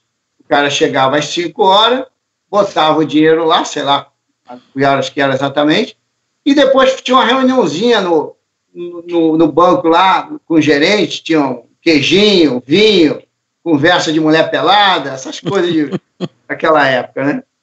Aí o Valtinho me levou, vem comigo. Cara, quando ele me levou dentro de um banco, cara, eu não sabia nem andar dentro de um banco. Eu ia, eu ia pelo cantinho da parede, assim, com a cabeça baixa, todo mundo todo tímido. Porra, aquilo para mim, conversar com alguém de terno para mim era uma coisa imensa. Era né? outro mundo, né, Moreno? Que é completamente diferente da tua turma, né? Completamente, né? Aí o Valtinho me levou lá. O Valtinho era dono da Ideal, né? Valtinho adorava construir carro, é, tem até uma foto de um carro aqui com ele, e uh, o Valtinho chegou para esse pessoal e falou, olha, a situação do Moreno é essa aqui, tal, tal, tal, tal, a gente precisa fazer uma vaquinha. E essa vaquinha é que você vê no meu macacão, que eu posso mostrar depois, aqueles pequenos patrocinadores, que é Ideal, Pneulândia. A Pneulândia eu fiz diretamente, que é o, o, o, o Malde, né? E os outros, é, construtora Cardoso, Focal, fornecedores de cascalho e areia. Era o Uau. gerente do banco. O gerente do banco vendia cascalho e areia. Então, é, esse pessoal, eram cinco pessoas, fizeram uma vaquinha de mil dólares cada uma, e eu levei 13 mil dólares para a Inglaterra. Eu tinha 13 mil dólares, que precisava de 25 para correr, eu tinha 13 para correr e viver. E eu consegui fazer naquele ano 22 corridas e 22 testes com aquele dinheiro. Então eu fiz um milagre, dormindo no carro. Cada noite que eu dormia no carro, eu economizava 10 libras nas corridas que precisava dormir entre sábado e domingo, que eram poucas, e é, era o equivalente a um pneu do meu Fórmula 4 e naquela época o pneu durava cinco corridas praticamente. Então, cada quatro vezes que eu conseguia dormir no, no carro, um ventiladorzinho que o Piuí me deu, eu economizava um jogo de pneu. Bom, o Nelson falou para mim. Eu falei, Nelson, como é que eu faço, cara? Eu não, não tenho patrocínio. Ah, deixa comigo, o, Isamo vai, vai, vai dar um jeito de patrocinar. Beleza. Mas, Nelson, eu, eu, não, eu não sei falar inglês, quer dizer, eu não sei falar inglês, eu não conheço ninguém. E, e como é que eu vou fazer para comprar, vender? É, falou, baixo. Eu conversei com o Piuí, que vai passar o Natal comigo, está chegando aqui, que é uma, duas semanas. Você vai conhecer ele pessoalmente. E ele vai te ajudar de graça. Ele vai fazer suas inscrições, ele vai comprar seu carro de corrida, ele vai comprar seu motor, ele vai te ajudar a fazer o pacote e você dá sequência. Isso não é problema para mim. Se ele me ensinar, só que é, eu falei, mas. É, eu falei, beleza, ele vai me ajudar, ótimo. Aí eu fiz uma última pergunta para ele. Eu falei, Nelson, se eu chegar lá e não levar jeito para o negócio, eu não corri de carro aqui, eu tentei fazer duas corridas para tentar conseguir uma carteira e não consegui nem largar direito. É, se eu chegar lá e não levar jeito para o assunto. Se eu chegar lá e, ah, eu vi você correndo no kart, o que você faz no kart, cara, é impressionante, você faz na Fórmula 1 também. Não se preocupe. Sei, mas e se eu não gostar do frio, se eu não gostar da alimentação, sentir falta da casa, de voltar para o Brasil? Falou, cara, aí ele demorou um pouquinho para responder. Falou, cara, se você der tudo errado, você foi na Inglaterra, alguém pagou a conta, você aprendeu inglês, você aprendeu inglês, e você volta para o Brasil com outra língua, cara. Aí eu pensei, então eu vou. e aí eu tomei a decisão de ir para a Inglaterra. Correr. Aí teve a novela da CBA, que não queria me dar uma carteira. Por quê? Era o, era o Nakashi na época. Charles Nakashi, é, presidente da CBA. Você nunca correu de carro no Brasil, rapaz. Hum. Aí, você, não, você não merece, você vai fazer um nome ruim do Brasil no exterior. Falei, mas aí eu sem jeito, né? Eu ficava sem jeito na frente dele e tal. Aí eu falei com o, o, o, o Fernando Batista Ramos, que era presidente do CTDN na época, tinha muita relação com o pessoal da CBA, andava naquele meio todo. Eu, um dia, na câmera, ele me contou que tinha uma Lotus na garagem dele. Falei, cadê essa Lotus, Fernando? Eu quero ver, quero dar uma volta. O cara tá com o pneu furado lá em casa e o macaco não funciona. Pô, cara, vamos arrumar essa Lotus. Aí ele ia lá e tal, aí um dia ele me disse onde é que ele morava, que era do outro lado da rua da câmera, do outro lado da W3. Aí, cara, eu não tive dúvida. Eu peguei aquele macaco jacaré, que era maior que eu, levei esse macaco atravessando a W3 todinha, do outro lado, cheguei na casa dele, toquei a campainha, ele me viu com o macaco, ele não acreditou. Eu falei, eu vim consertar o pneu da sua Lotus. E consertei o pneu da Lotus, ele deixou dirigir a Lotus dele, foi muito bacana. Essa é a mesma pessoa eu falei para ele, ele estava no Rio de Janeiro, quando eu fui campeão brasileiro de kart. E ele sabia do projeto de eu ir correr na Europa, ou na Inglaterra. E ele tentou conversar com o Nakashi. E o Nakashi vetou. Eu cheguei pessoalmente falar com o assessor do Nakashi no Rio, ele abriu o fichário assim, olha aqui, não tem teu nome aqui, você não está vendo não, ó e fechava assim, plão, o negócio de arquivo. Não, não e não. Eu saí da, eu saí da CBA no Rio de Janeiro assim. Aí conversei com o Nelson falou: ah, esquece esses caras, meu. Esses caras sempre foram difíceis. É, a gente chega na Inglaterra, você faz uma escolinha de pilotagem lá, e você pega uma carteira e vai ser piloto inglês. Vai, vai custar um pouquinho mais, mas você faz.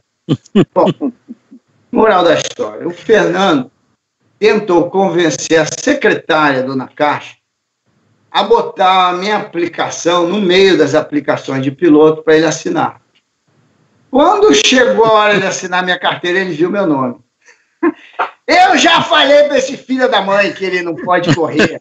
O que, é que esse cara está fazendo aqui? Mandou a mulher embora, deu uma confusão desgraçada. Eu não sei bem dinheiro da história, da história, mas o Fernando me conta assim. Bom, Aí chegou no Rio de Janeiro, naquela reunião anual das federações, em 79, antes das, dos treinos de Fórmula 1, se eu não me engano, todos iam lá para o Rio e faziam aquela reunião. O Fernando levantou a mão, doutor Nakashi, eu queria falar com o senhor sobre aquele menino de Brasília, tal, tal, tal. tal, tal. Eu já falei para aquele cara que blá, blá, blá, blá, blá, blá. Não, doutor, ele é um cara, eu conheço ele do kart, ele é muito bacana, ele tem uma índole muito boa, ele vai fazer, ele vai representar o Brasil bem, eu confio. Se você confia tanto nele, então você assina a carteira dele. E assim saiu a minha primeira carteira da CBF. Então, é. Quando chegou na Inglaterra, eu mudei para a inglesa e corri com a carteira inglesa até o pai do Carlos Gância ser presidente da federação. Aí eu fiz questão de voltar para o Brasil. Piero. Piero Gância, falecido Piero Gância. Então, o, o Piuí. E assim eu fui para a Inglaterra correr. O Piuí comprou meu carro, o Nelson comprou meu carro de, de dirigir, que era um, um Volkswagen K70L, é o anti-dual. Carro espetacular. É, e é, que era um carro barato, tinha saído de produção, então você comprava no leilão baratinho. Ele comprou por 200 libras esse hum. carro. E comprou um trailer para mim, que tinha uma capotazinha, é um trailer com, com lateral, e tinha uma capotazinha que fechava, que não deixava molhar o carro de corrida.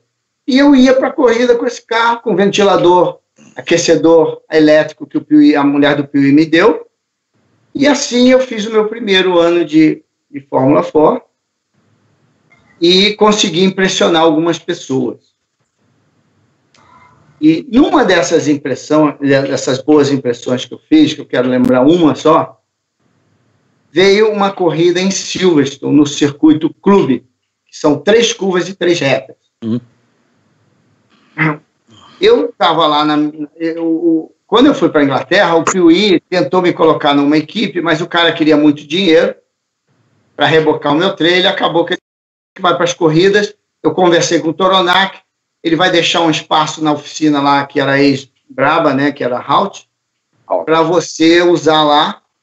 E ali vai ser a sua oficina. Não tem, não tem aquecimento, mas você põe um aquecedor de parafina na frente, atrás do carro, põe um tapete no chão, que ele, ele não quer que suje o chão ele vai botar concreto lá um dia e não quer óleo no chão. É um chão assim de pedra, né? Aí, ali era a minha oficina, em, em, é, o pagamento dessa oficina que eu fiz era eu trabalhar na Halt, a, a limpeza da fábrica da Halt e a separação de materiais de alumínio, ferro e aço. E, e eu fazia isso quando eu não corria. Eu dava geral na Halt e esse era minha, o meu pagamento por utilizar aquela, aquele espaço ali. E morava eu, onde, Roberto?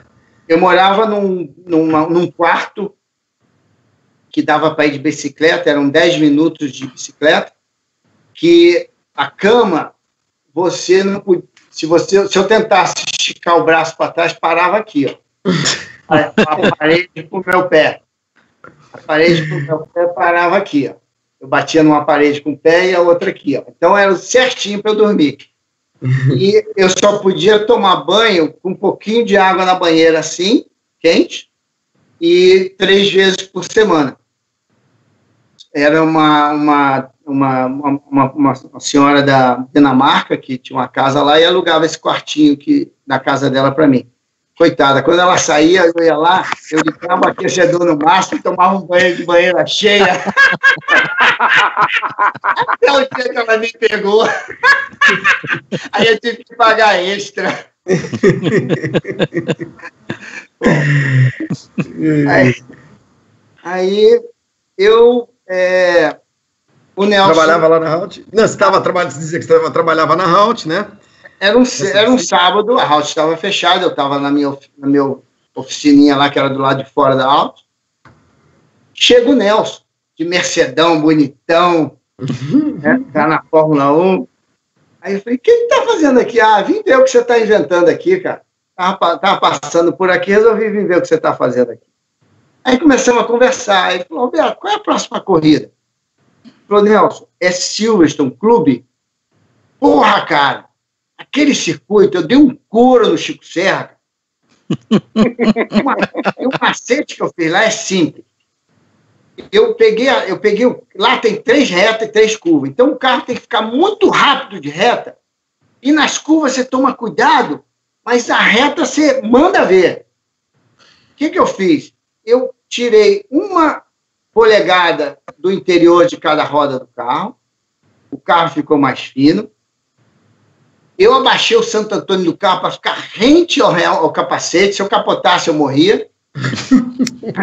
é, e eu botei o carro no limite do peso. Eu troquei todos os parafusos e tal. Falei, pô, Nelson, é mesmo, cara? E fiquei só escutando, né? Falei, pô, essas porquinhas que você conseguiu na, na Braba, será que você não consegue umas porquinhas dessa para mim, não? Moral da história, na segunda-feira ele chegou com um saco cheio de porca daquelas de helicóptero, que é pequenininha e leve. Eu coloquei no meu carro inteiro, cerrei os parafusos, economizei aí um quilinho de parafuso, uns parafusos grossos que eu furei no meio. Ah, comprei uma bateria de motocicleta e botei no carro, aí você não podia mais dar partida no carro dentro. Aí eu falei, ah, já que não dá partida no carro, vamos tirar o motor de partida também, né?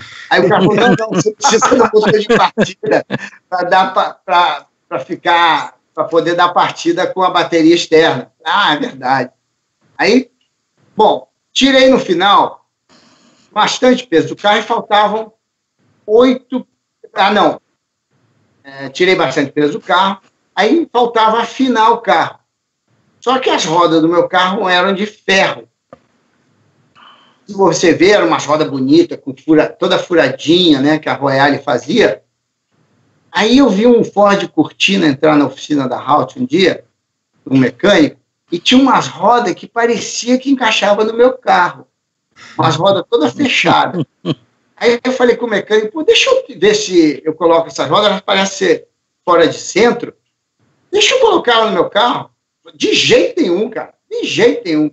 Bom, ele foi almoçar, eu fui lá com uma levantei, no carro de corrida, medi e dava exatamente uma polegada e três quartos mais fina do que as minhas rodas. Aí eu rapidamente tirei, botei a cortina dele de novo, deixei do jeitinho que estava. Aí eu sabia que aquelas rodas eram as rodas que eu queria. Aí eu descobri que no ferro velho vendiam aquelas rodas.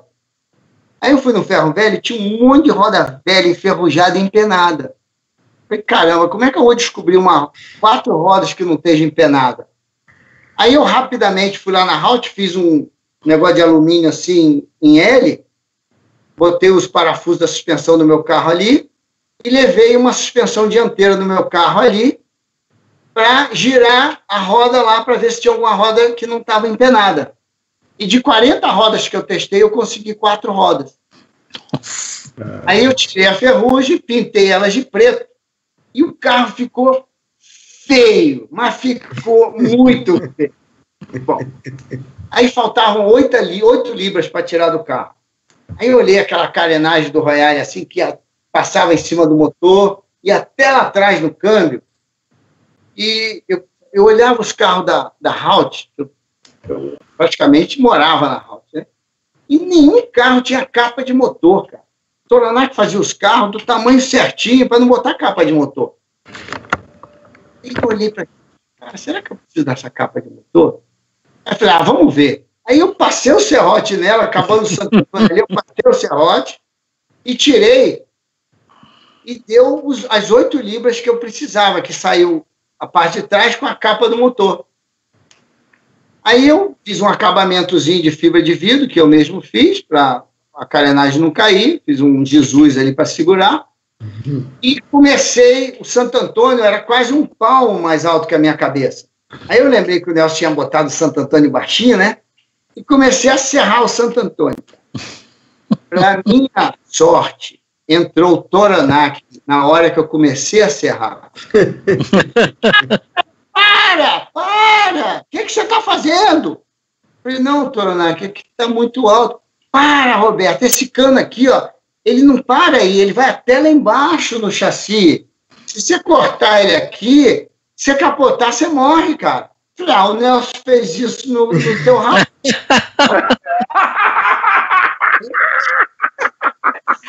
De jeito nenhum você vai sair de um carro da minha oficina desse jeito.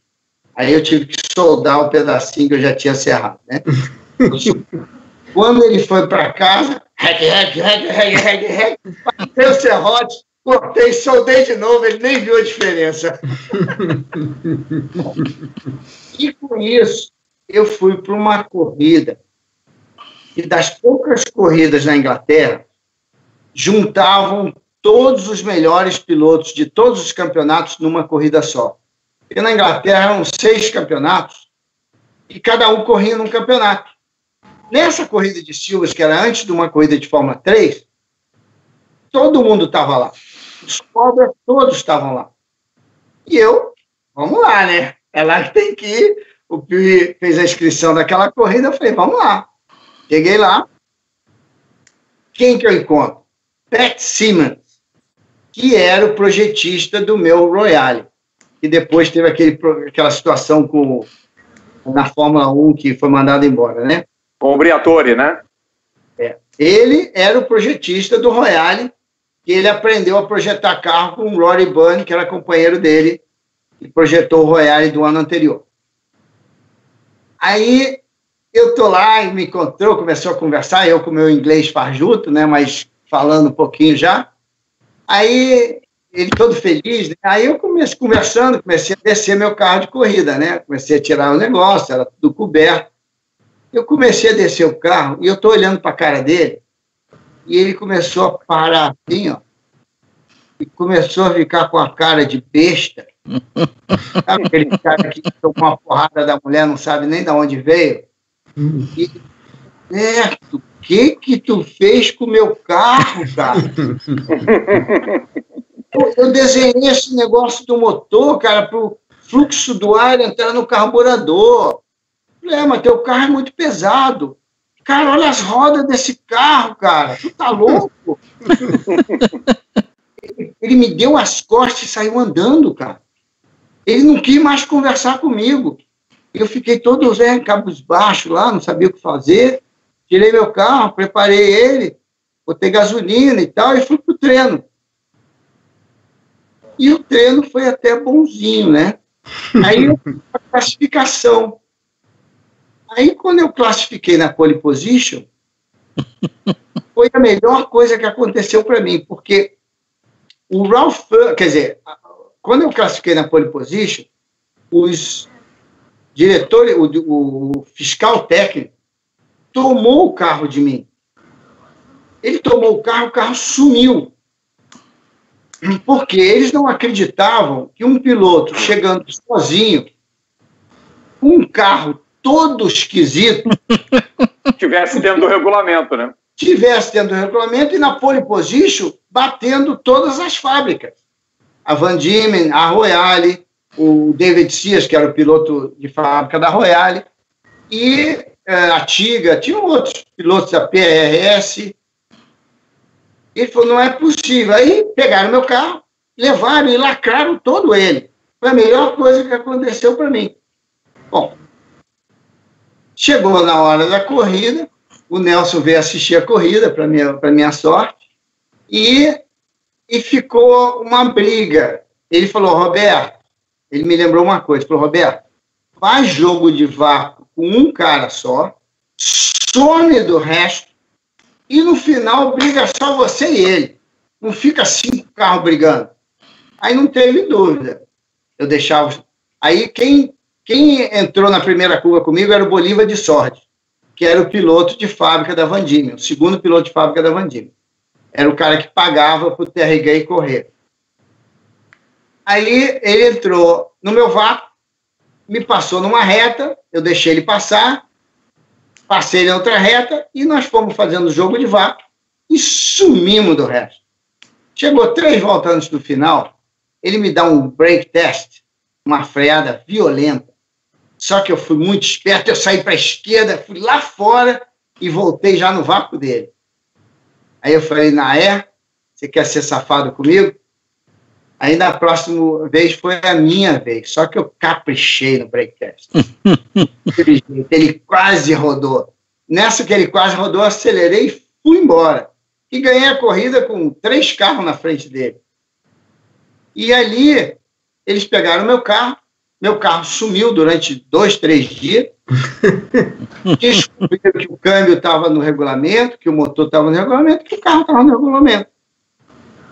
E aí o Ralph Furman me telefona, que foi ele que entregou para o fiscal, e falou, Roberto, a hora que você quiser correr de Van Diemen, você tem um carro de graça meu. Eu falei, Ralph, eu não quero mudar de carro no meio do ano, porque eu não conheço seu carro ainda. Eu não tenho dinheiro para testar. E depois eu preciso vender o meu Royale. Se eu parar de correr com ele, ninguém vai querer comprar ele. Eu preciso do dinheiro dele para poder pagar as contas no final do ano. Aí ele entendeu, falou, então tá. Eu falei, mas vamos fazer uma coisa, Ron? Eu quero correr para você o ano que vem. Ele falou, tá fechado. E apertamos a mão ali. A próxima corrida que a gente se encontrou, nós apertamos a mão, o Pio me apresentou a ele, e nós fechamos o negócio para o ano seguinte. Então, a minha cara, primeiro ano de Fórmula 4 na Inglaterra foi assim. Aí o, o Pat Simmons fez um carro de Fórmula 2000, ele pegou um Royale de Fórmula 1600, colocou um motor de 2000, colocou asa e me chamou para ser o piloto. E nós uh, quase ganhamos a corrida. A primeira teve uma batida, a segunda teve uma batida que eu evitei, mas o, o vencedor abriu assim 10 carros de vantagem, porque eu fiquei embolado naquela coisa ali em Melody Park, no retorno. E aí, até eu sair e buscar ele, eu cheguei na cola dele na última volta do David Leslie.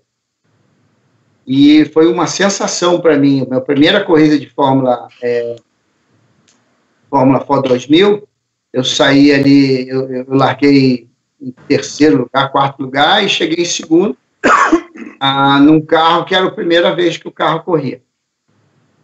E com isso eu fiz 22 corridas e 22 testes com 13 mil dólares naquele ano 79. E o Nelson depois reclamava, porque ele falava, Roberto, eu vou te colocar para você dormir numa casa de alguém e tal, porque eu não quero que você fique falando português, eu não quero que você saia com o brasileiro, o brasileiro aqui na Inglaterra ele só vem fazer besteira, ele fica dando cano em metrô, cano em ônibus, e a hora que a polícia pega, ele é mandado embora e não pode entrar. Então eu não quero você conversando com nenhum brasileiro, não quero você indo a Londres, você gasta muito dinheiro, vai lá só para buscar o seu dinheiro quando chegar, e não me procura a não ser que você tenha um problema. Aí ele reclamava que eu não telefonava para ele depois das corridas. ele foi um grande irmão, ele ensinou os caminhos da pedra, mas ele não me mimou. Muito...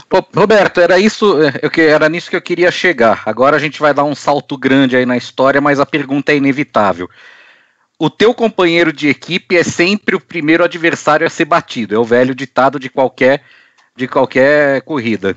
É, como é que como é que isso funcionou entre vocês dois na época que vocês dividiram o box da Benetton? Vocês tiveram algum desentendimento por causa de acerto de carro, de alguma, alguma ocorrência de pista? Como é que foi isso? Eu fiz uma cagada, na verdade, uma vez, né? É uma corrida que eu e Nelson poderíamos ter um puxado o outro vácuo, como eu fiz com o Bolívar de Sorte, eu dei uma fechada nele. Ele ficou puto comigo e, e a gente teve um, depois da corrida lá, um meio que uma troca de palavras. Mas foi uma cagada minha que eu fiz que eu não deveria ter feito. Foi falta de experiência minha, tá? Que corrida foi essa? Você lembra? Foi Hockenheim. A gente tá. poderia ter feito uma corrida linda, um levar o outro para frente, e eu resolvi dar uma fechada nele de vacilo. Não é fechada, eu tentei bloquear ele em vez de dar o vácuo para ele. Né? Eu não fiz jogo de vácuo. E se eu fizesse um jogo de vácuo com ele, a gente ia embora para frente, eu ia. Então eu fiz uma cagada violenta. Depois o carro quebrou de qualquer forma, mas poderia ter sido sensacional. Mas fora isso, o Nelson é um cara que ele tem um jeito dele, né? Embora um irmão para mim, eu, eu, considero ele o meu irmão mais velho, Uh, e ele guarda o segredo para ele e tal, mas no começo ele me ensinou muito, me ajudou muito, né? Em Suzuka mesmo, ele falou para mim, olha, eu vou eu vou vestir todo mundo aqui nessa corrida. Eu falei, como é que é isso, né? Falou, eu vou eu vou botar pneu mais duro, não vou falar para ninguém, vou fazer uma corrida de, vou correr que nem uma moça no início da corrida e quando o pessoal parar para trocar pneu, eu vou acelerar. Ah, Nelson, se você vai fazer isso, eu vou fazer igualzinho a você. Nós, ele me ajudou nessa estratégia. E então eu e Nelson sempre fomos muito companheiros. Mas ele fazia o projeto dele com o carro dele e eu ficava com o meu engenheiro, que era um engenheiro novo. E ele, em vez de copiar o carro do Nelson sempre, ele ficava inventando de é, é, eu é, brincar de engenheiro comigo. E, pô, não tenho que conversa. O Nelson é o melhor acertador de carro do mundo, cara. Não tem conversa. Segue o carro dele que eu dirijo, pô. E o cara não queria, ele queria acertar o carro do jeito dele. E, de uma certa forma, no Canadá, o que eu fiz no meu carro, porque eu sou muito bom de curva de 90 graus. Eu acredito que seja pelos testes que eu fiz lá no cascalho da casa perto do Nelson. Eram todas curvas de 90 graus. Eu andei muito lá. Então, curva de 90 graus não tem para ninguém comigo. E em Canadá, o acerto que eu fiz nos amortecedores, que eu também era muito bom de amortecedor, funcionou no meu carro. E o Nelson falou: opa, o que, que o Roberto está fazendo? E colocou no carro dele é, para classificação ou corrida. E o meu carro quebrou um amortecedor na corrida e eu fiquei de fora. Então, é, nós éramos muito bons nesse assunto. Só que eu, eu tinha um engenheiro que era novo e queria fazer as coisas dele.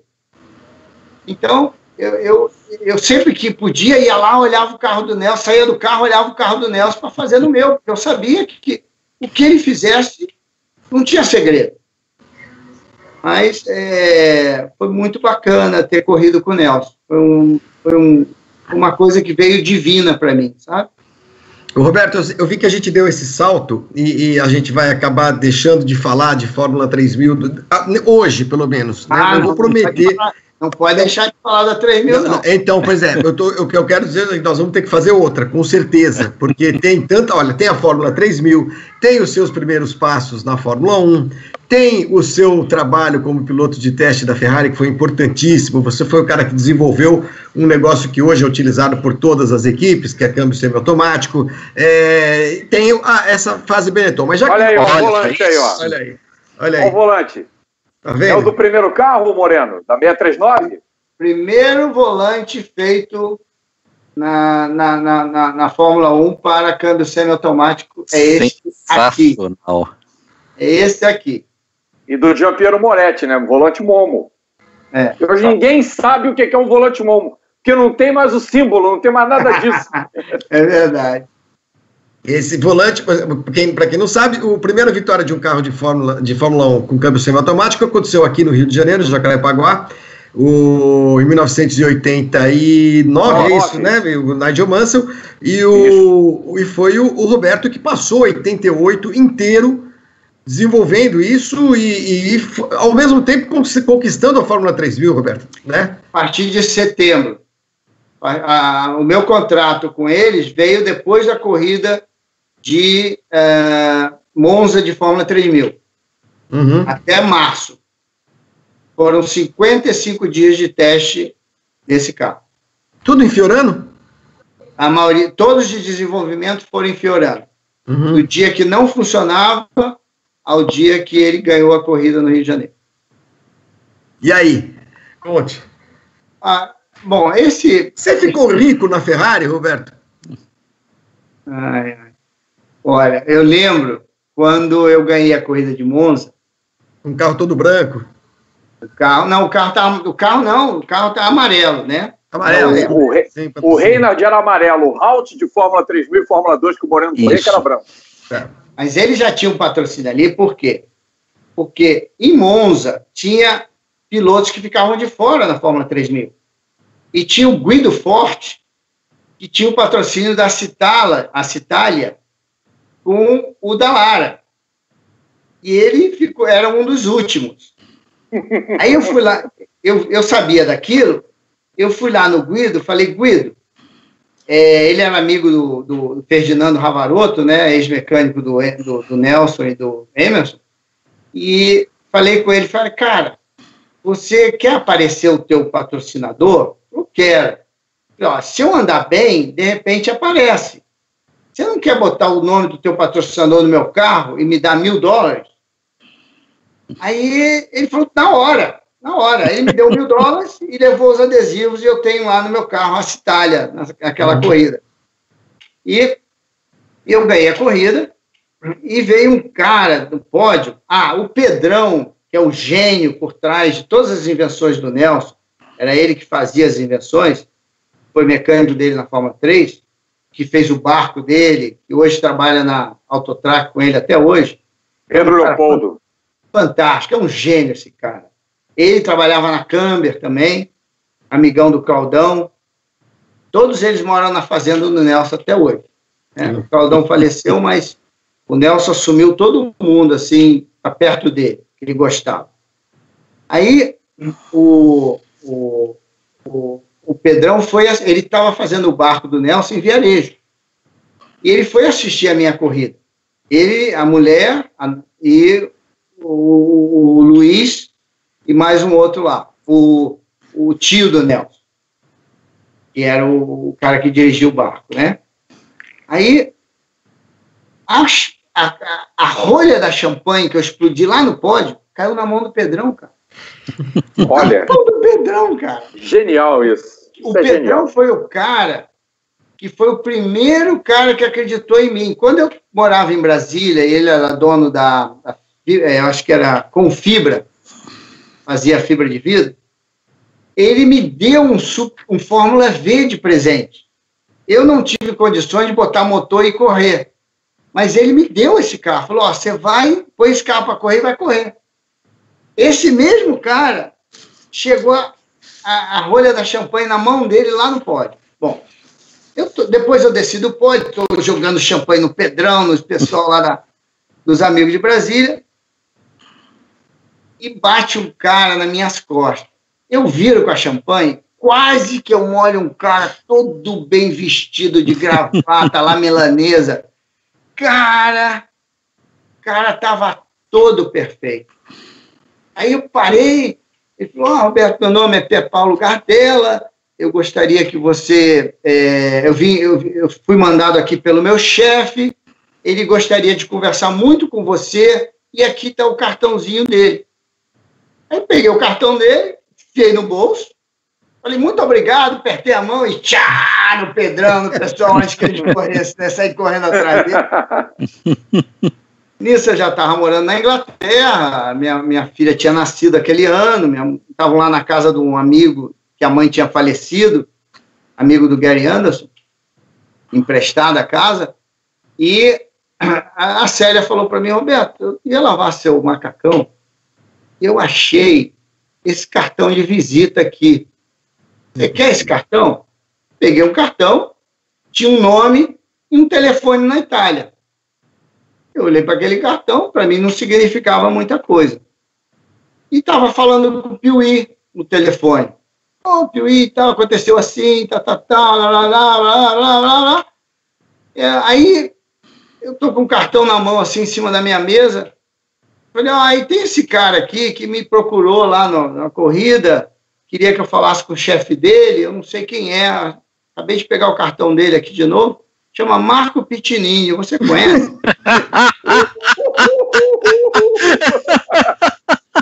só Marco Pitinini, nossa senhora. Era só o chefe da Ferrari. Só o chefe da Ferrari. Só ele. Aí, aí falou, me falou, eu não conheço não, cara. Aí, no que ele falou, não conheço, o sol bateu no cartão. Quando bateu o sol, tinha o cavalinho em alto relevo. Ah, e eu consegui ver o cavalinho. Eu falei, ui, cara, tem um cavalinho aqui nesse cartão, cara. Ele falou, pô, Roberto, liga lá, cara. Deve ser coisa boa. Aí eu liguei, né? Eu liguei. Aí, liguei. Marco Pitinini, chefão da Ferrari, né, me atendeu. Aí, falou, Roberto, quero conversar com você para fazer um negócio para a Ferrari. Uma coisa muito importante. Você pode vir aqui em Porto Ricard? Nós vamos testar aqui três dias. Eu falei, claro que posso, com o maior prazer, sem problema nenhum. Tá bom, então eu te encontro aqui, sei lá, três dias depois, tal dia, pau, pau. Te esperando. Tá bom, tchau. Aí eu parei para pensar, falei, Célia, tá acontecendo isso, eu tenho que ir por Ricardo. Ele falou, Beato, você não tem dinheiro nem para o médico particular da sua filha, como é que você vai comprar uma passagem para ir para Porricá hoje? Deixa comigo, sério. Aí eu liguei para o cara que fazia as passagens do Ron Toronac no ano anterior e contei para ele a história. Ele era, era ele, ele faz passagem de Fórmula 1 até hoje. E ele falou para Roberto, deixa comigo. Eu te dou a passagem. Se você fechar contrato, você paga, se não, fica por minha conta. Foi legal. Aí fui para Porricá. Só que eu não tinha como ir de Porricá para é, do, do, do, aeroporto de Marseille ah, para tá Porricá. Era duro, Aí, duro mesmo, duro de maré, maré, maré. Eu não tinha dinheiro para as coisas da minha filha, cara. A gente morava de favor. Uhum. Eu tinha um Fiat 147. Esse na Inglaterra. é o carro que andava, na Inglaterra. Agora, eu tinha um telefone celular. O Maurício, o Maurício Sando Sala corria para uma patrocinar, um patrocinador da Vodafone, eu acho, e ele ganhou um, um, um telefone de carro. Hum. E ele me emprestou esse telefone. Vende ele para mim. Eu, em vez de vender, eu usei ele no, no meu Fiat 147 e no final do ano eu vendi. Devolveu. Devolveu. Agora eu só recebi a chamada, eu nunca fazia chamada nele. Uhum. Bom, é... cara, eu não tinha dinheiro para nada. Pra e você nada. não tinha como ir de Marsella para Porto Ricardo? Tem ali Só uns 40 quilômetros. Tudo na minha vida, eu encontrei um cara que eu acho que trabalhava na, na, na Braba e me deu uma carona. Aí eu cheguei por Ricardo. Senão eu ia procurar um ônibus, uma coisa assim para chegar lá. Bom, é, chegando lá, o Pitinini fala: Ah, Roberto, muito prazer, um cara muito bem educado, um cara de uma classe fantástica. E ele falou: Roberto, pô, eu queria muito conversar com você, mas eu estou aqui, cara, cheio de problema. Podemos nos encontrar depois da manhã em Mônaco? Eu falei: Claro, um prazer. Como se eu soubesse onde ia dormir aquela noite. Como se você tivesse um aviãozinho, né, Roberto? Então, tudo bem, claro, vou pegar meu aviãozinho e te encontro lá, mas tudo bem, vamos lá. Aí eu não tinha o que fazer, fui andar lá pelos boxes, barrei com o Nelson, né? É. Cara, o que, que tu tá fazendo aqui? Ah, Nelson, eu vim, aconteceu isso, isso, isso, eu tô aqui. Ah, cara, beleza, eu tô indo pra Mônaco depois do teste aqui, vem comigo. Vamos comer um espaguete lá em casa, tu fica lá em casa, tem, não precisa de nada, tem, tem tudo lá em casa. Aí já consegui lá para dormir e comer, né? Aí eu é, fui ao meu encontro com o Marco Pitinini, num lugar que você subia de carro, num, num apartamento, você subia quase até o apartamento de carro. Cheguei lá, cara, abri a porta, um mordomo com a toalhinha no braço. Quando eu vi isso, eu já. Opa! Aí já, já fiquei todo duro, né? Já o coração já começou a bater mais rápido. Senhor Moreno, por favor, senta. Senhor Marco Pitinini vai vir já já. Esperei um pouquinho, ele chegou. Aí eu levantei, me apresentei, pedi para falar em inglês, que o meu italiano não era muito bom. Aí sentamos, conversamos, ele trocou um papo, blá, blá, blá, blá, blá. Conversamos, trocamos ideia, não sei o quê. Ele falou, Roberto, curtando essa história, ele falou, Roberto, eu preciso de um piloto para fazer o desenvolvimento do novo carro do ano que vem. É um carro que vai ter um câmbio um pouco diferente e é um carro completamente diferente dos outros. E, a gente ficou sabendo que você é o único piloto que tecnicamente merece fazer o teste desse carro. Uau! Legal. Porra, a gente queria fazer um contrato de Eu não falava muito bem, né? Eu estava uhum. todo enrustido, né? É que nem eu entrava no banco naquela época. É a mesma coisa. O ali... de toalhinha era igual, né? É a mesma história. eu estava ali que nem uma formiguinha, né? Aí, aí ele falou: é, a gente vai fechar um contrato de três anos com você. Três anos. Quando ele falou um contrato de três anos de teste, o meu coração começou a bater rápido. Eu lembrei da situação da Lotus, que eu não contei aqui ainda, mas estragou a minha carreira, no final das contas. É. E era um contrato de três anos. Eu falei, caramba, depois de tudo que eu fiz, eu estou com o pé dentro da Fórmula 1 de novo, e esse cara me oferece um contrato de teste de três anos. Eu comecei a suar frio, eu começou a doar meu, doer meu estômago, ficou um frio no estômago, um peso, parecia que tinha um tijolo no estômago. Eu levantei, dei a mão para ele, falei, muito, falei em, em, palavras que não saíam direito, falei, muito obrigado, você escolheu o piloto errado. E eu dei a mão para ele, mas ele não pegava a minha mão. E ele olhava para minha cara assim, Estou entendendo. Nós somos a Ferrari. Eu falei, você escolheu o piloto errado. Ele falou, Roberto, e eu comecei a tremer. Tremer, tremer.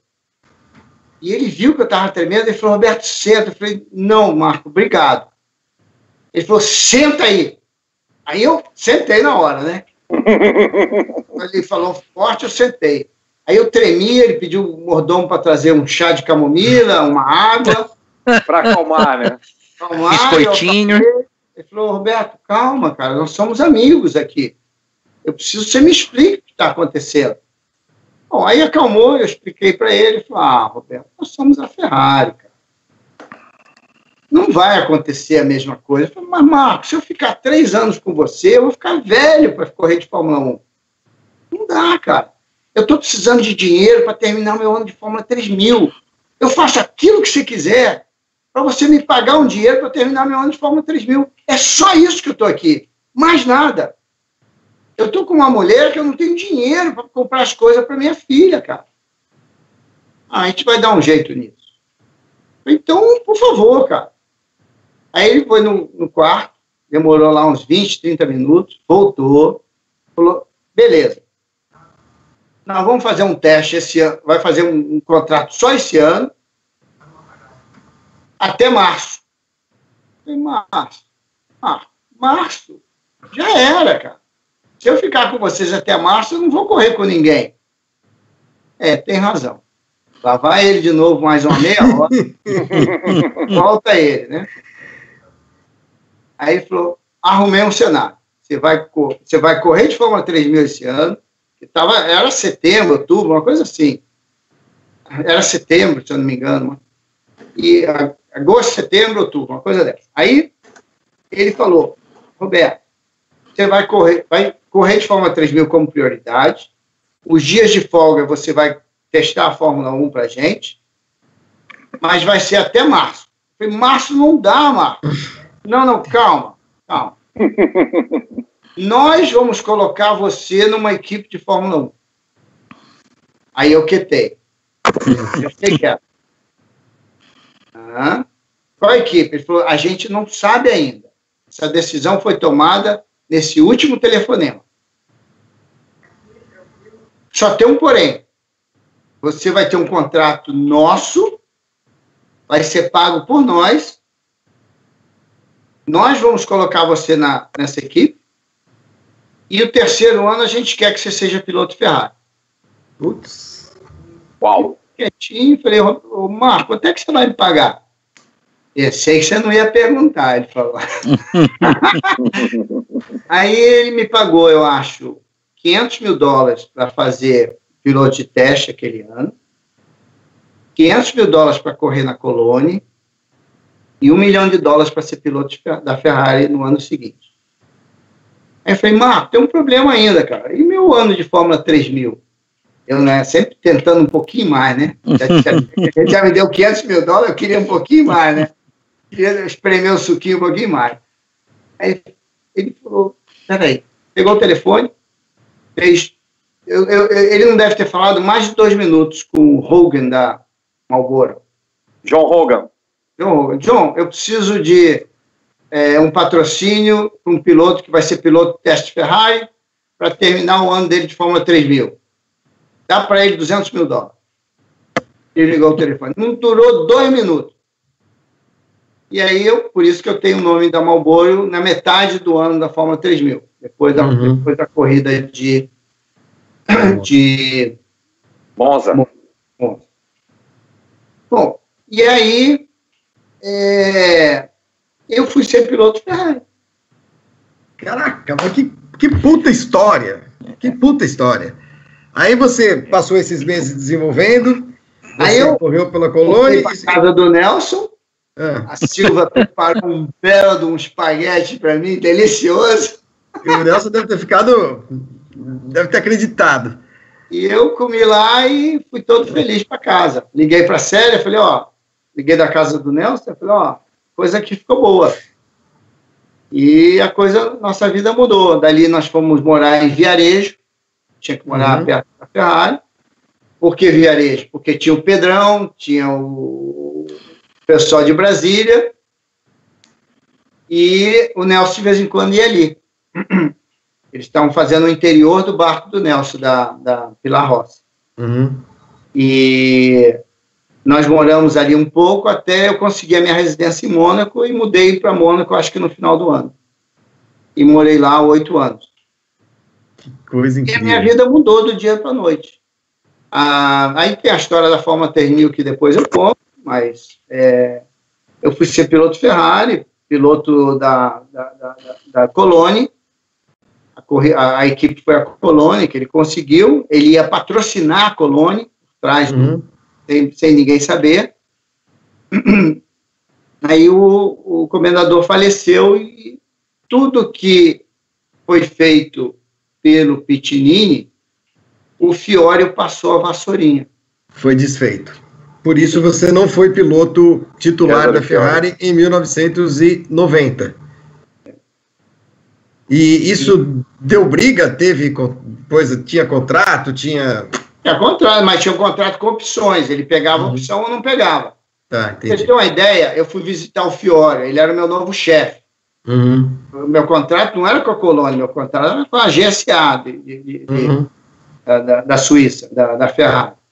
E é, ele falou para mim, Roberto, é, não, é, o, o, o, comendador faleceu e a ajuda que o Pitinini ia dar ao a, a, a colônia parou ali.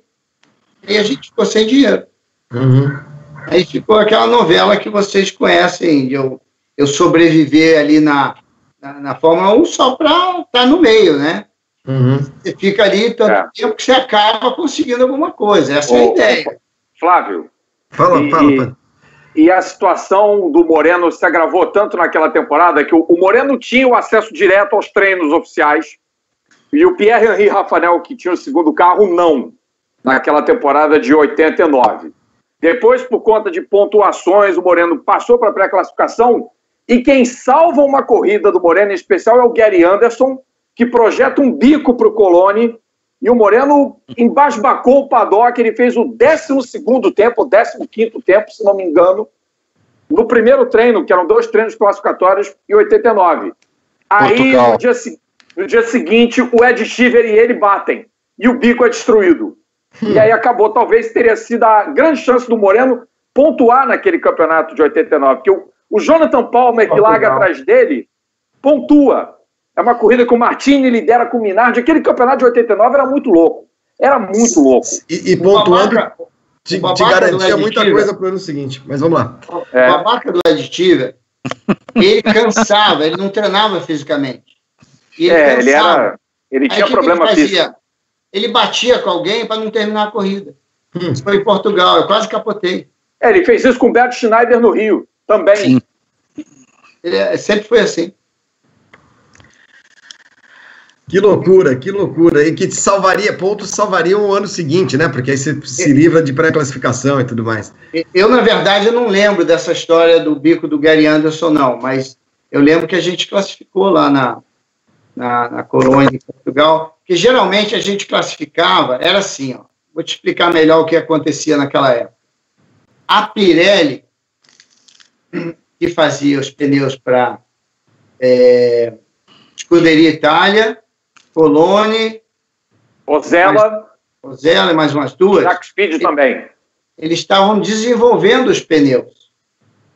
Então, você imagina uma, uma fábrica que não tem a capacidade de fazer muitos pneus financeiros naquela época. Então, o Felite fazia vários tipos de pneu e ele dava um jogo para uma equipe, um jogo para outra, um jogo para outra, um jogo para outra. Quando ele via que aquele pneu funcionava, aquele pneu, se, se caísse na minha mão, ele sumia e eu não via mais aquele pneu. Então, em Portugal, eu tive um pneu bom, que na corrida eu não tive. Eu acho que era mais isso que aconteceu do que o bico, para ser sincero com você, tá? Talvez, talvez, mas é, mas aquele desempenho é tão espetacular quanto o que você faz com o André Modo, o que você fez com a GS. Né, mas era um carro bom. A é, Colônia tinha um carro bom. O Colônia, o Colônia era um bom carro, mas o AGS não era. O André Moda talvez não fosse. Se você olhar o, o OMAP de, de Canadá na chuva, sim, estava em primeiro lugar. Sim, o carro era sim. bom. Você andou bem em Montreal também. Mas só na chuva, no warm-up, eu fui mais rápido. Aquele carro era muito bom. E era a primeira corrida do carro, né, Moreno? Aquele é. carro estreia em Montreal, o C3, né? O projeto do Christian que você conheceu na AGS. Christian Van der Plain. Depois ficou sem, sem, sem a roda, né? Perdemos uma. É. Andou em três rodas naquela. Roberto, então, uma curiosidade. Desculpa, desculpa te cortar, mas eu tenho uma curiosidade. Você mencionou a Célia a sua filha, que nasceu na época da Fórmula 3000, você teve mais filhos depois e algum deles teve vontade de se envolver com automobilismo? A Andressa até levava jeito, tá? É mesmo? Mas eu, eu meio que afastei ela do automobilismo. Ela levava jeito. Ela quisesse, ela, se eu quisesse, desse força, ela ia. Mas eu afastei ela. A mãe também não deu muita força, porque eu não achava que era um lugar ah, eu, eu sempre imaginei uma coisa muito superior à minha filha, sabe? A Kiara, que eu tive depois, em 94, nos Estados Unidos, ela, é, ela já tem um outro, um outro comportamento. A Andressa não, ela tem um comportamento que nem o meu. Inclusive, a gente bate muito de frente, que somos muito iguais, sabe? A minha energia a Andressa tem, que é uma energia única. Poucas pessoas no mundo têm essa minha energia. Então, é, eu nunca dei força para ela correr. Agora, a Andressa, ela, quando ela ia nascer, é, a minha, a minha, a Célia ficou é, grávida com Dil.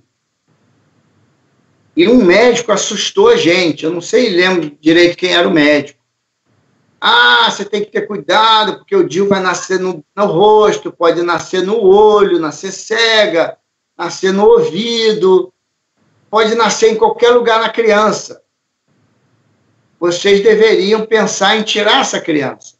Eu não sei quem foi o estúpido que falou isso para mim. Olha, eu fiquei com tanta raiva. Eu falei, de jeito nenhum, que nunca isso vai acontecer. E eu orava muito para que nada acontecesse de mal com a minha filha.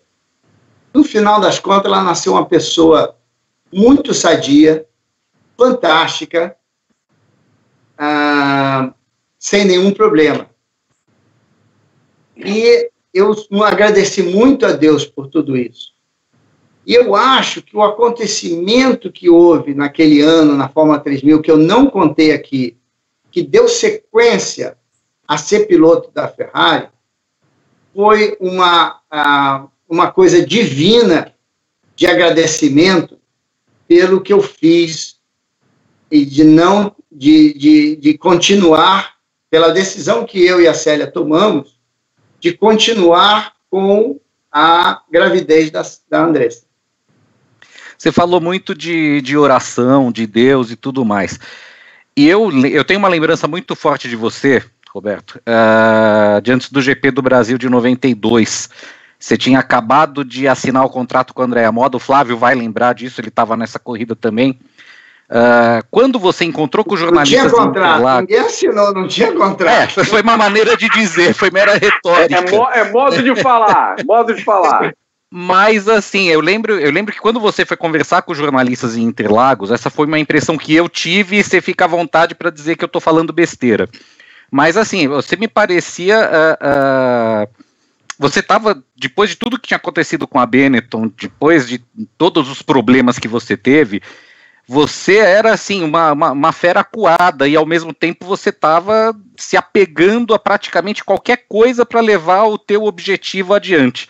E aquilo me impressionou muito. E você relata que conversou com um pastor que você encontrou por acaso e que o cara falou: se o teu plano é esse, isso vai acontecer. A minha pergunta, feito esse todo esse comentário, é o seguinte: é, você é um cara muito religioso. Você, como é que você lida com, com, com, o risco que existia? Era muito muito maior do que é hoje no automobilismo na época que você corria. Você é um cara de você era um cara de rezar, de, de, de, de ler a Bíblia para se acalmar. Como é que você lidava com esses momentos difíceis? em 92 eu já tive várias experiências que me que me fizeram ser religioso, não religioso, mas acreditar em Deus. Tá? Várias é, coisas que aconteceram na minha vida, inclusive aquela da Benetton. Ah, eu discordo um pouquinho de você de eu ter feito isso, é, que eu estava cabisbaixo, que isso me deu força. Não. Eu sou uma pessoa que eu sempre acreditei em mim. E corrida de automóvel, para mim, não é que eu não, você tem que lembrar que eu não, aquilo que eu já te falei antes, que eu não sou uma pessoa que saiu do Brasil para correr e disputar um campeonato como a maioria dos pilotos que saíram do Brasil. Eu saí do Brasil para fazer uma profissão. E acabou sendo para aprender inglês primeiro, uhum. e acabei fazendo uma profissão de corrida que me levou 40 anos, mais de 40 anos de corrida. Então, por que isso? Porque eu acreditava que eu precisava estar no meio. E se eu tivesse no meio, as coisas aconteciam. Então, o correr para Andréa Moda, nada mais, nada, nada menos foi na fé que eu tinha em buscar alguma coisa. E eu sabia que eu tinha Deus comigo de alguma forma. Então, eu falei algumas coisas baseado nisso, mas eu não estava cabisbaixo, porque eu tinha saído da Benetton. A Benetton foi um grande êxito meu. Por quê? Eu não merecia nunca estar naquele lugar pelo aquilo que eu fiz até chegar na, na Benetton. E eu tive a oportunidade.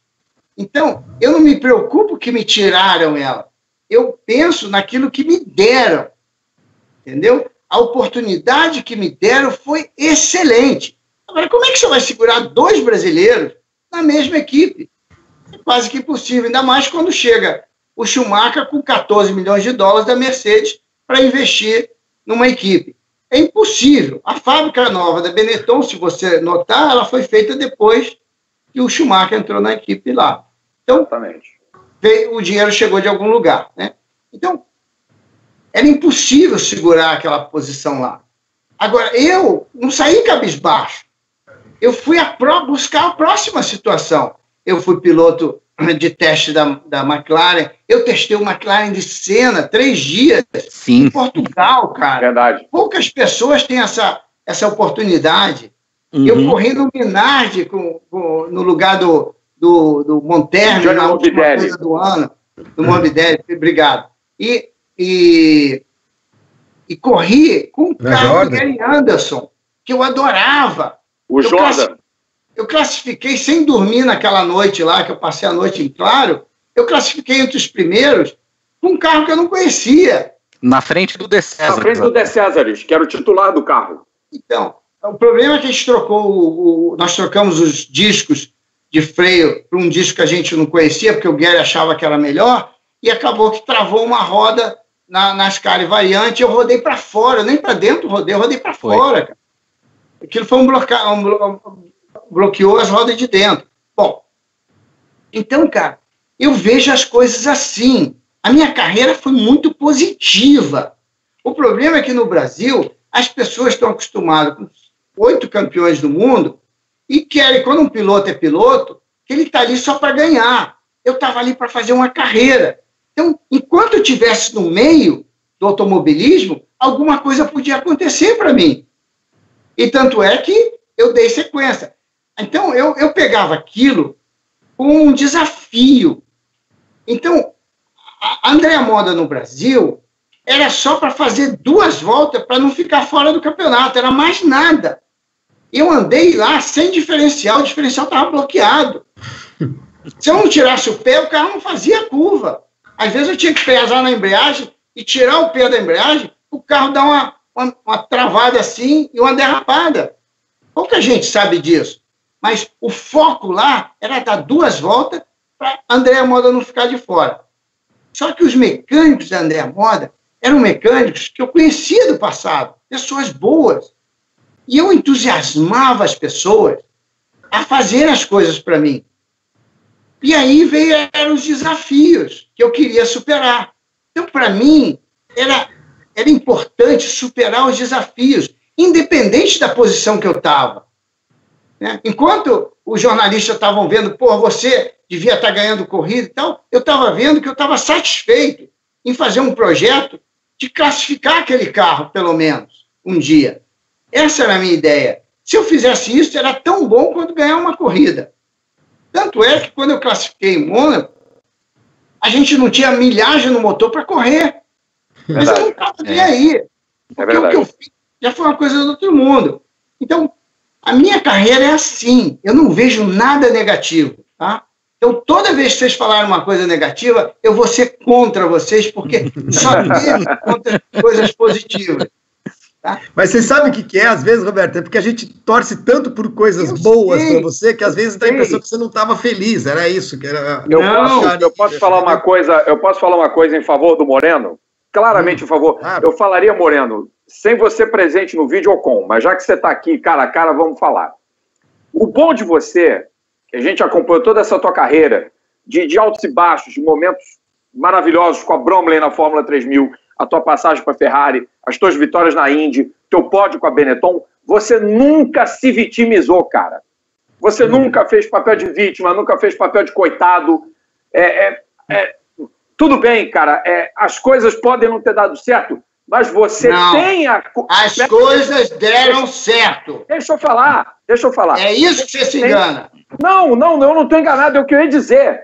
Eu queria dizer, pode parecer que não deram certo, mas deram muito certo. Senão você não tinha o respeito do Paul Newman, não tinha te levado para ser piloto da Newman Haas. Você não ia andar na Paco West com o Bruce McCall. Você não tinha ido para Benetton. Você não teria testado McLaren. Você não teria sido piloto de teste da Ferrari. Você tinha o respeito de quem conhece o teu valor, quem conhece o teu trabalho. É isso que eu ia falar. Você não deixou completar o Com raciocínio. respeito é às isso, pessoas nos Estados Unidos. Eu fiz uma listinha aqui de pessoas que me respeitam. No Brasil, eu sou Eu pouco conhecido, respeito. porque Eu esqueci de mencionar o Pat Patrick, que te deu um carro também para você correr, você ganhou corrida com ele. Mas vamos lá. É, eu, eu, eu Para completar a sua pergunta antes, desculpa a outra pergunta antes, antes que eu esqueça, quem me ajudou muito nesse processo de é, ter fé em Deus foi o Alex Dias Ribeiro. Ele um dia me pegou de eu estava assim, sem o que fazer, sem saber o que fazer, e ele, ele conversamos muito, porque ele fala a mesma língua que eu. Então, você fala com, com um pastor, você fala com um cara da igreja, ele fala outra língua. O Alex fala a mesma língua. Uhum. É um pastor. Então, o Alex me levou no, na, nas reuniões uh, batista com ele, ele me ensinou algumas coisas. Eu não era um cara estudioso da Bíblia. Uh, eu, eu, vim, eu, eu, eu, sempre estudei a Bíblia de tabela. São amigos meus que contam para mim. O Valtinho Ferrari, o Emanuel Basile, e que tem uma história fantástica depois, quando a gente tiver tempo de contar lá, lá, lá da, do Japão, é, que, que aí vocês veem por que, eu acredito mesmo. E, e o Alex sempre ele reza comigo e ele pede e as coisas se abrem. A, a, a mãe da minha ex-esposa, a dona Regina Estela, que é uma segunda mãe para mim, que eu respeito ela imensamente, ela fala diretamente com Deus, cara. O que aquela mulher fala com Deus no dia seguinte acontece. É impressionante. Então, eu tive tantas coisas que aconteceram na minha vida que me fizeram acreditar isso. Tem muita gente que fala que é uma energia, que é isso e aquilo. Eu vejo como Deus. Eu, eu, eu sou ignorante no assunto para é, ser preciso. Eu tenho, inclusive, conversado com pessoas ultimamente que, me, que, que, que falam coisas para mim até com bom senso sobre essa coisa, mas não vamos entrar nesse mérito agora. Ah, agora, quem me, me, botou no caminho mesmo foi o Manuel Basílio Garax, lá em, é, de Brasília, ah, por causa do tanto que ele acreditava, e o Alex. Foram eles que me direcionaram muito. Aí eu estava conversando sobre o que que eu esqueci. Eu parei da, da lista de agradecimentos às pessoas que, enfim. Te ajudaram, que você. Você fez a listinha aí, que acreditaram em você. Ah, não, não, é, não, não é isso. Você falou de respeito. Né? Sim, falei. No Brasil, eu sou visto como. Porque no Brasil só aparece quem aparecia na Globo antigamente. Né? Hoje a Globo está por baixo, mas Antigamente, quem aparecia na Globo é que, é que era o bom. E, e, todo mundo assistia. Então, as pessoas me conhecem pelo aquele momento, que foi curto, da Benetton. Elas não conhecem do Pulpo a história dele, uhum. o que eu fiz, os obje... tantas vezes que eu dei a volta por cima, que é o nome do meu novo livro, né?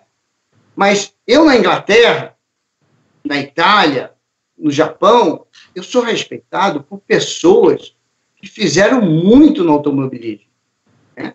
Eu, eu vou escrever alguns nomes. Colin Chapman, né? Sim. Patrick Head, me respeita muito. O John Barnard, né? que, me, que foi ele que me levou para Benetton, no final das contas. E o foi o projetista daquela Ferrari, né, o Moreno? Na 639 é. o carro era dele. Porque eu trabalhava com o Gordon Kimball, que era o cara que ele colocou na Ferrari, até meia-noite, se precisasse, para descobrir o desenvolvimento que faltava naquele carro. O Gary Anderson, que foi um excelente projetista, todos os projetistas aqui. O Steve Hallam, trabalhou na Lotus comigo.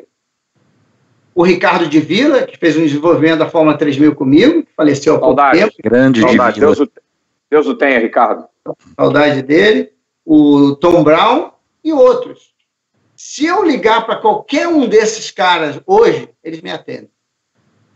E conversam comigo de coisas.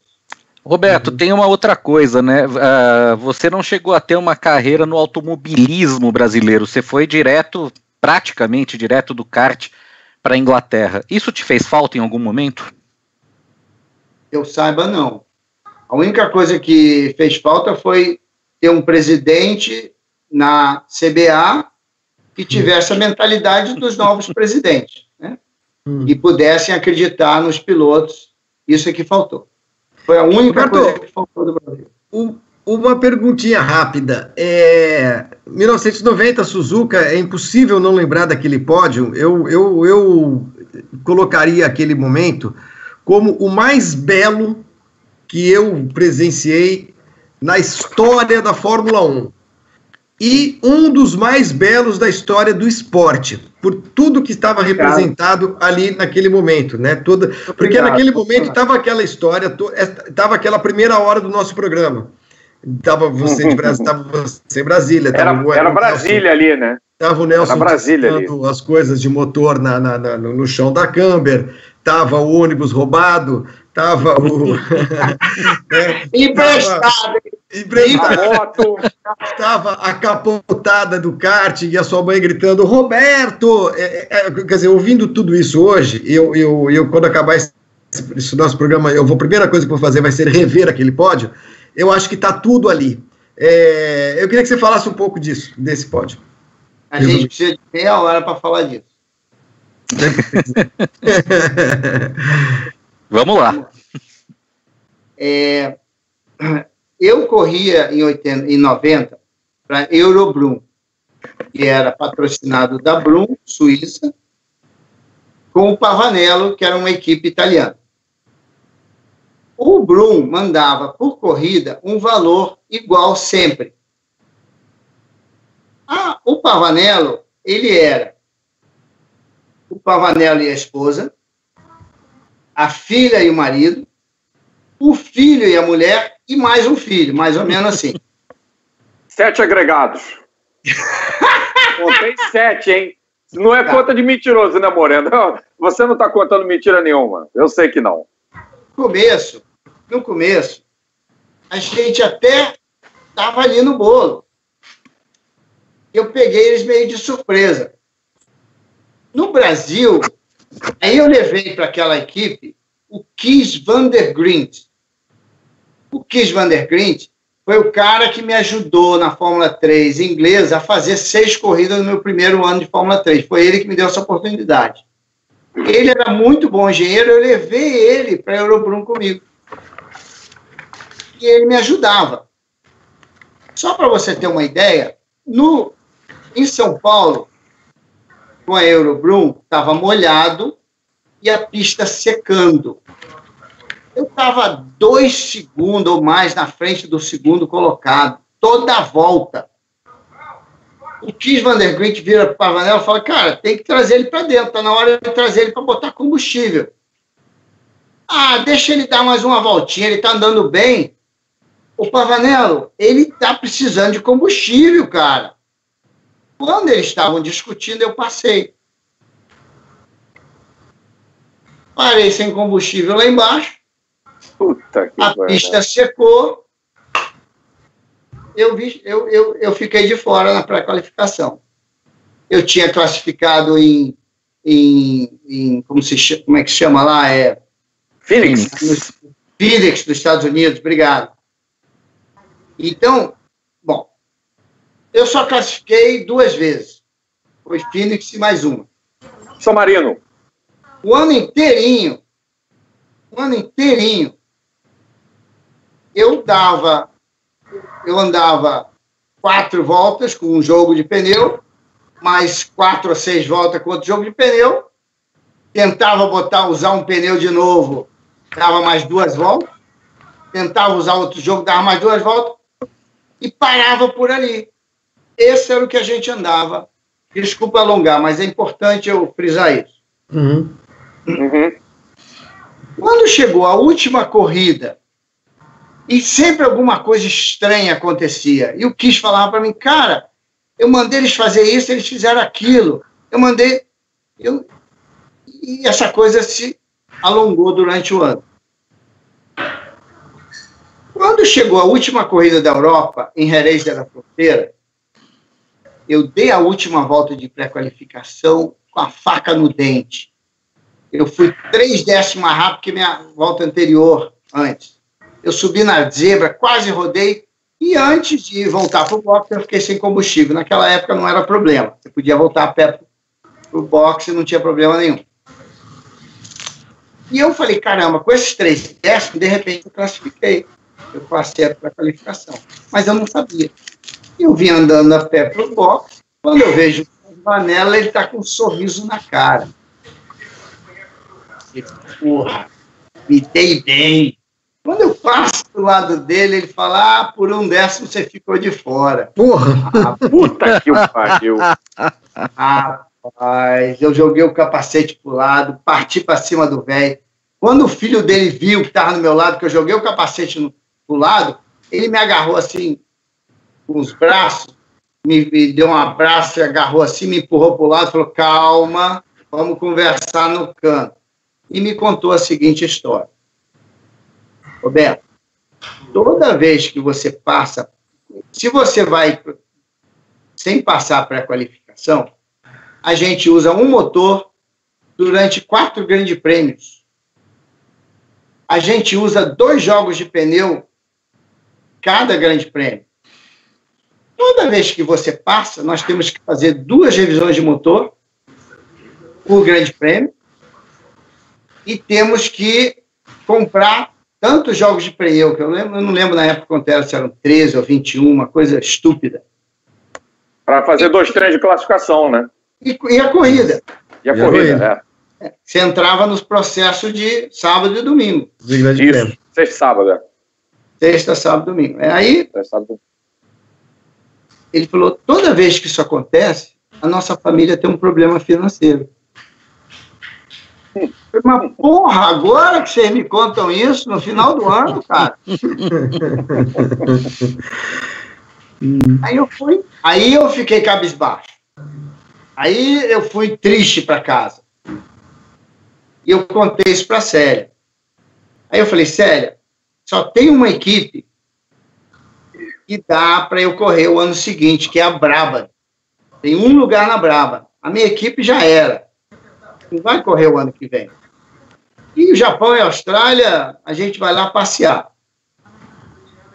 Então, antes do se eu não for ver a Braba agora, esperar depois do da Austrália, eles vão sair em férias e de repente alguma coisa acontece e eu fico fora.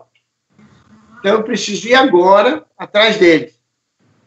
Aí eu liguei para o Reb Blash, da Braba, que tomava conta da Brava, que já era dos japoneses.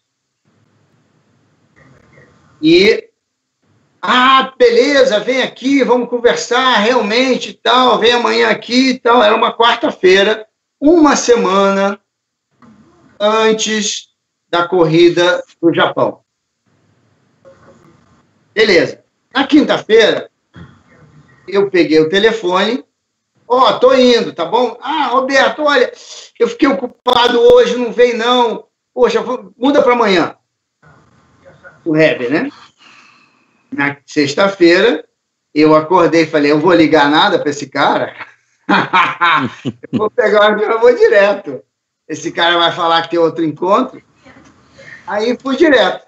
Cheguei lá, 10 horas da manhã em Heathrow, peguei um cartãozinho de telefone, naquela época você comprava um cartãozinho de telefone, pegava um telefone e ligava. Aí eu liguei para o Heber, cheguei em Heathrow, estou pronto para o nosso encontro. Ô, Roberto, você não deveria ter vindo sem me falar, cara. Você deveria ter me avisado de Mônaco antes de vir. Eu, arrum, eu fiquei, eu, é, eu tive outros encontros que eu tenho que presenciar hoje e não vou poder te encontrar. Mas, mas cara, eu vim aqui só para te encontrar, meu. Ah, então tá. Então, vem às 5 horas da tarde, que eu vou te dar 10 minutos antes de ir para casa. E tá bom. Às 5 horas estarei aí. Aí eu peguei meu livrinho de telefone, né? Não tenho o que fazer lá no aeroporto.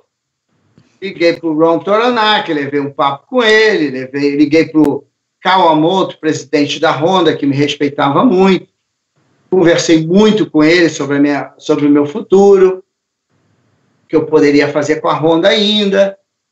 Liguei para o Gary Anderson. E, por último, eu liguei para o John Barnard. Olha.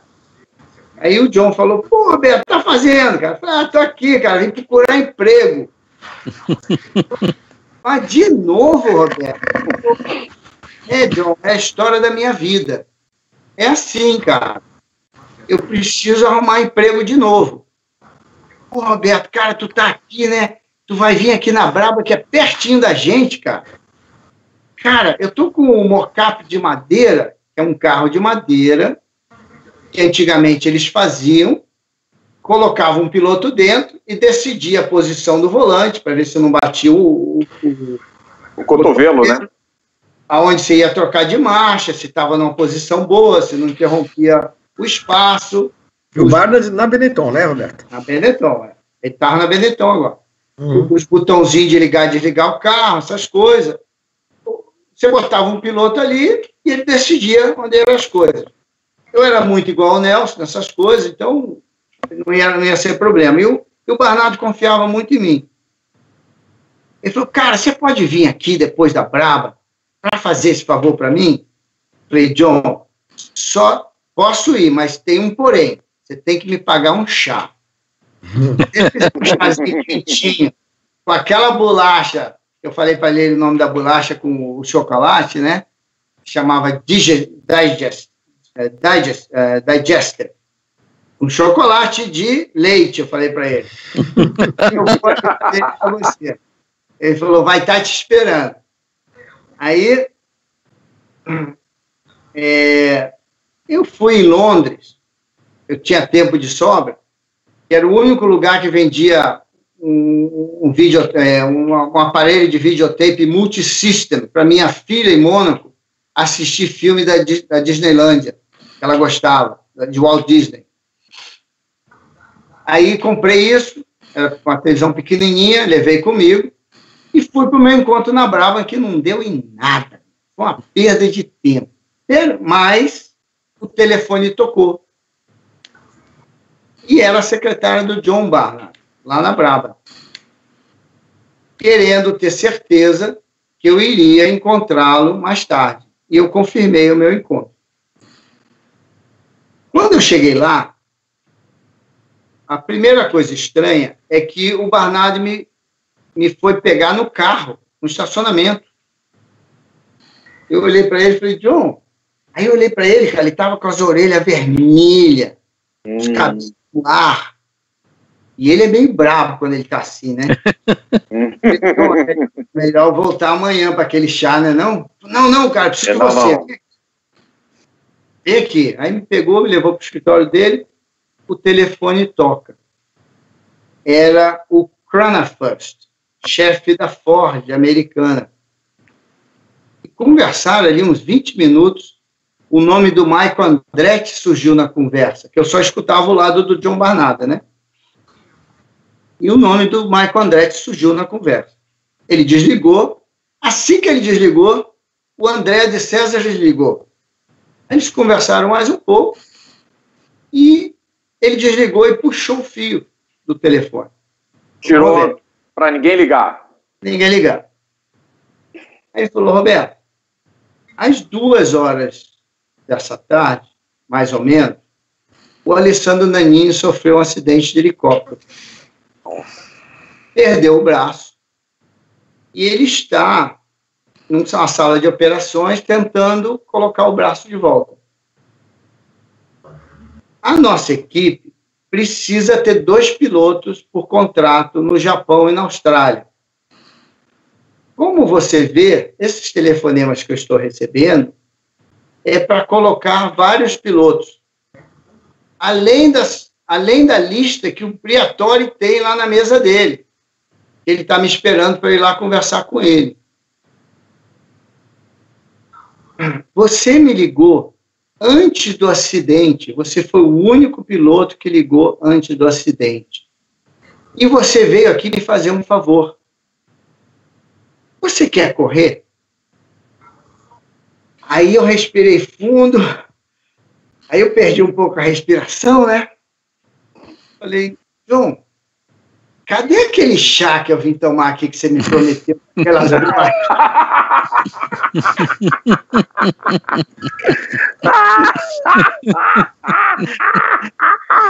falei, falei.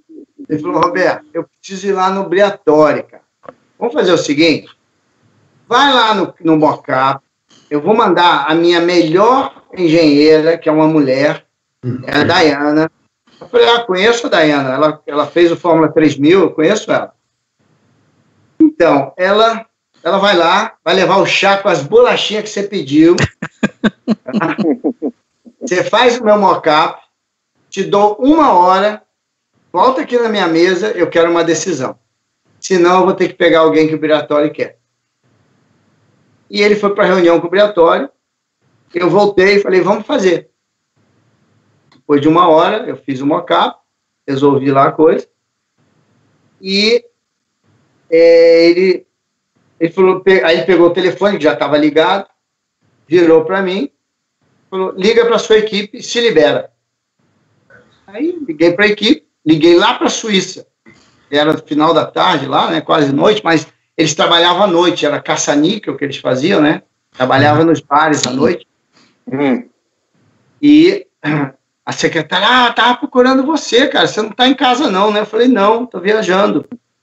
Então, a gente teve uma reunião importante aqui. Eu falei, mas é uma reunião sem me contatar? É, a gente teve uma reunião meio delicada, cara. E a gente decidiu que nós não temos dinheiro para participar da corrida no Japão nem na Austrália. É mesmo? Puxa vida. Será que você poderia colocar isso numa carta? Aí eu pedi o número do fax para o John, ele me deu. Aí, nesse fax, e mandar nesse fax aqui, por favor, confirmando isso que você está falando. Aí eu recebi, imagina, cara, tudo no mesmo dia. Se eu tivesse ligado para o John depois das duas da tarde, eu era mais um piloto querendo uma posição. Sim. Ele não ia nem conversar comigo. Talvez o Kramer fosse encaixar o Andretti na, na sua vaga. Talvez. Não sei. Eu acho que Talvez. não. Eu acho que, ia, eu acho que ia ganhar alguém do Briatório, tá? Ah, é? Eu acho que sim. Ah, que o Briatore estava com uma relação com o, o Tom Walkinshaw, começando um namoro, eu acho. Hum, uhum. E o, nome, e o, o Walkinshaw é, parece que dava bunda para o Martin Brundle e o nome dele apareceu, apareceu depois, tá? É, efetivamente, depois o Tom vai trabalhar na Benetton, né? É, mas a, o namoro começou ali. E o nome é? do Martin Brando já apareceu ali.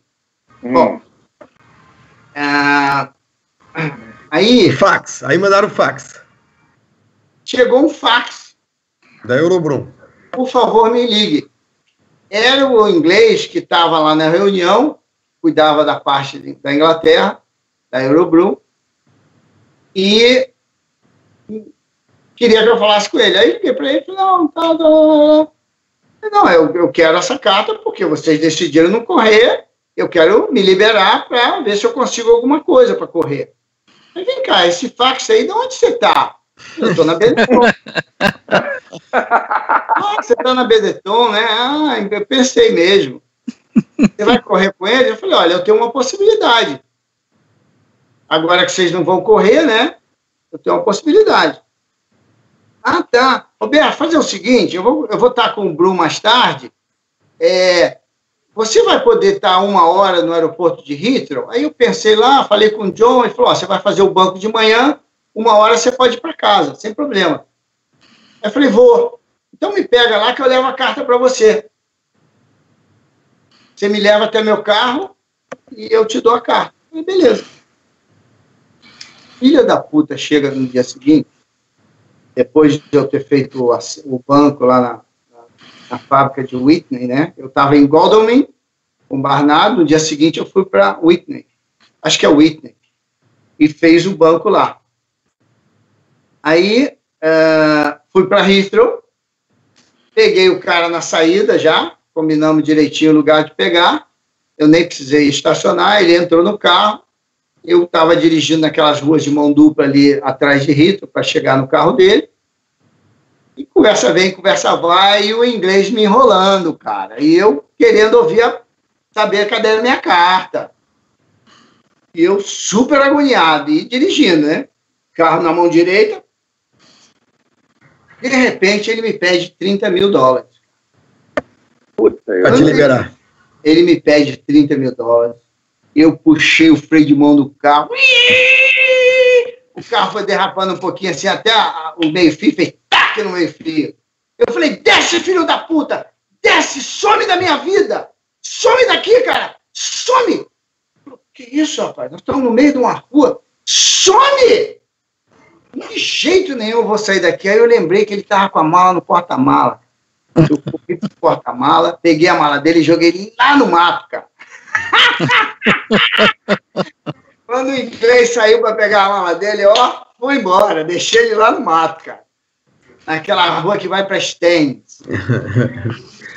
Aí liguei, parei lá no. Voltei para o aeroporto, peguei o carro, falei com o John, falei, John, aconteceu isso.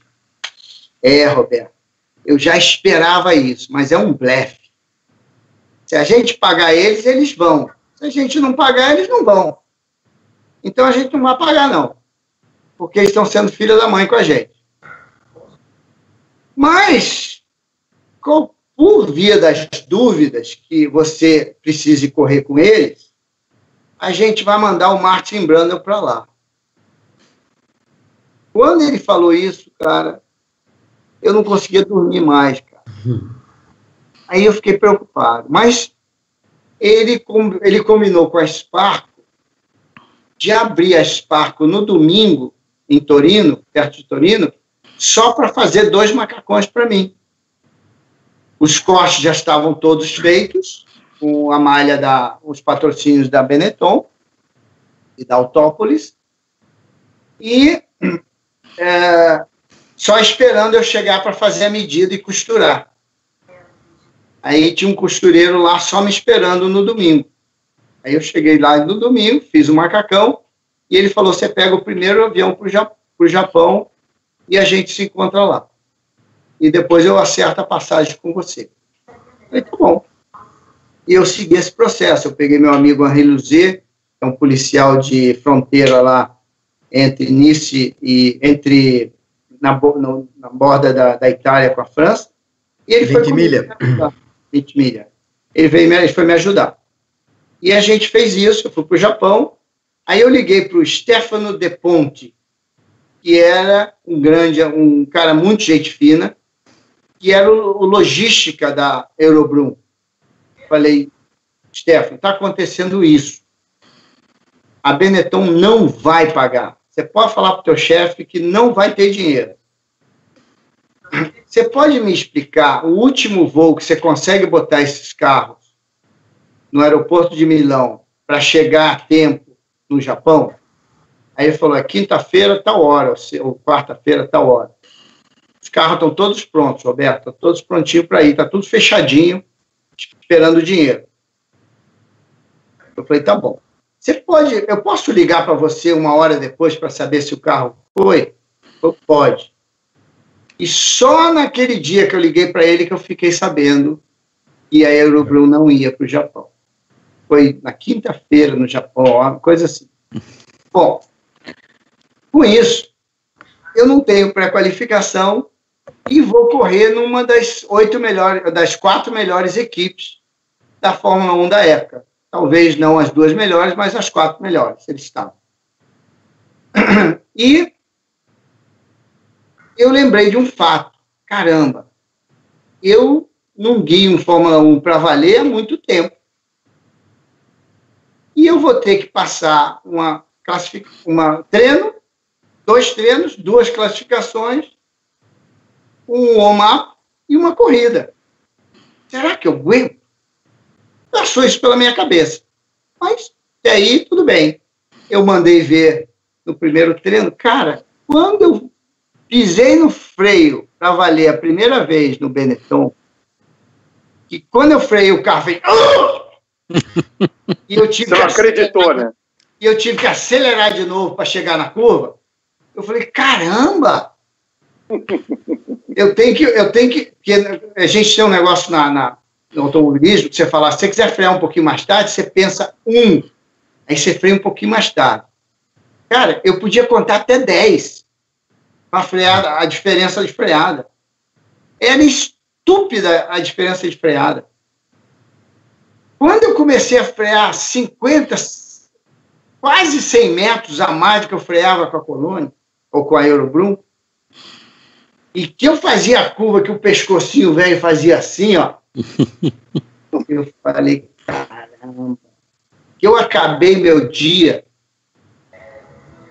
eu fui pro hotel todo dolorido, com a língua de fora. Eu falei, caramba, eu não vou aguentar essa merda. E eu entrei na banheira quente, cara, ficava lá horas na banheira quente, fui comer. Aí eu peguei o telefone e liguei para o Emanuel Basile Garax, que nessa já estava trabalhando como engenheiro de som da Embraer. Que é meu amigo de infância, é, professor de karatê, ex-professor de karatê. Falei, Manel, a situação aqui é essa, essa, essa, essa. O que você pode me ajudar? O que eu preciso fazer para eu poder terminar essa corrida? Eu preciso de ajuda física, cara. Pé, pega uma Bíblia e lê o Salmo 23. Falei, Manel, eu preciso de ajuda física, não espiritual. Meu espírito tá bom. Roberto, escuta o que eu estou te falando. Pega uma Bíblia e lê o Salmo 23 até você decorar. Você está falando sério? Ele falou, tô. E nós vamos orar por você aqui na Embraer. Todos nós, do nosso grupo de oração. Tá bom. Me explica. Roberto, é assim. Ó. Quando eu precisava fazer universidade, eu precisava passar três noites a claro para terminar um projeto, esse salmo me dava a força que eu precisava. E ele vai te dar a força que você precisa. Acredita que vai acontecer, mas você precisa ter fé. Muito bom. Todo hotel tem uma Bíblia, dá-lhe Salmo 23, né? Eu não era, é eu falei para vocês, eu não conhecia a Bíblia. E comecei. Salmo 23, o Senhor é meu pastor, nada me faltará, me né, no, nos pastos verdes, é, sempre estará comigo, tal, tal, tal. Bom, chegou no sábado, no final do dia, a minha língua que estava aqui, estava aqui agora. Estava o dobro de língua de cansaço.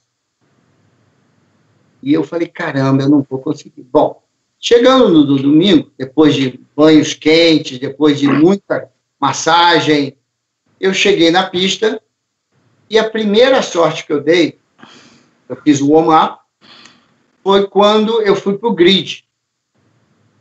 O meu carro, no, no, no, no, retorninho que tem lá em, Suzuka, ele deu uma. Eu acelerei, ele deu um tempinho, depois ele acelerou. Ele deu uma falhadinha de leve, bem de leve. Poucas pessoas notariam essa falhada. E eu passei um rádio e falei: olha, deu uma falhadinha. Tem certeza? Eu falei: bem pequenininha, mas deu mas o carro está funcionando bem. Não interessa, vem para o box. A gente não pode arriscar. Mas vem cá, o carro reserva está em nome do Nelson, está em acerto do Nelson. Os pedais estão para o Nelson. Não interessa, Roberto, entra no box, você vai, entrar no, vai sair no carro dele. Essa foi a minha primeira sorte. Eu peguei um carro completamente acertado pelo Nelson. Prontinho e os mecânicos, na rapidez, conseguiram co colocar os pedais para mim. E eu saí a tempo para o grid. Essa foi a minha primeira. O Nelson ia fazer uma corrida de madame até o meio da corrida. Eu ia seguir ele, eu tinha combinado com ele. E assim foi. Quando o Mansell parou, que o Nelson começou a acelerar, algum, algum tempo ali perto, eu comecei a ficar cansado. Eu não aguentava mais, gente.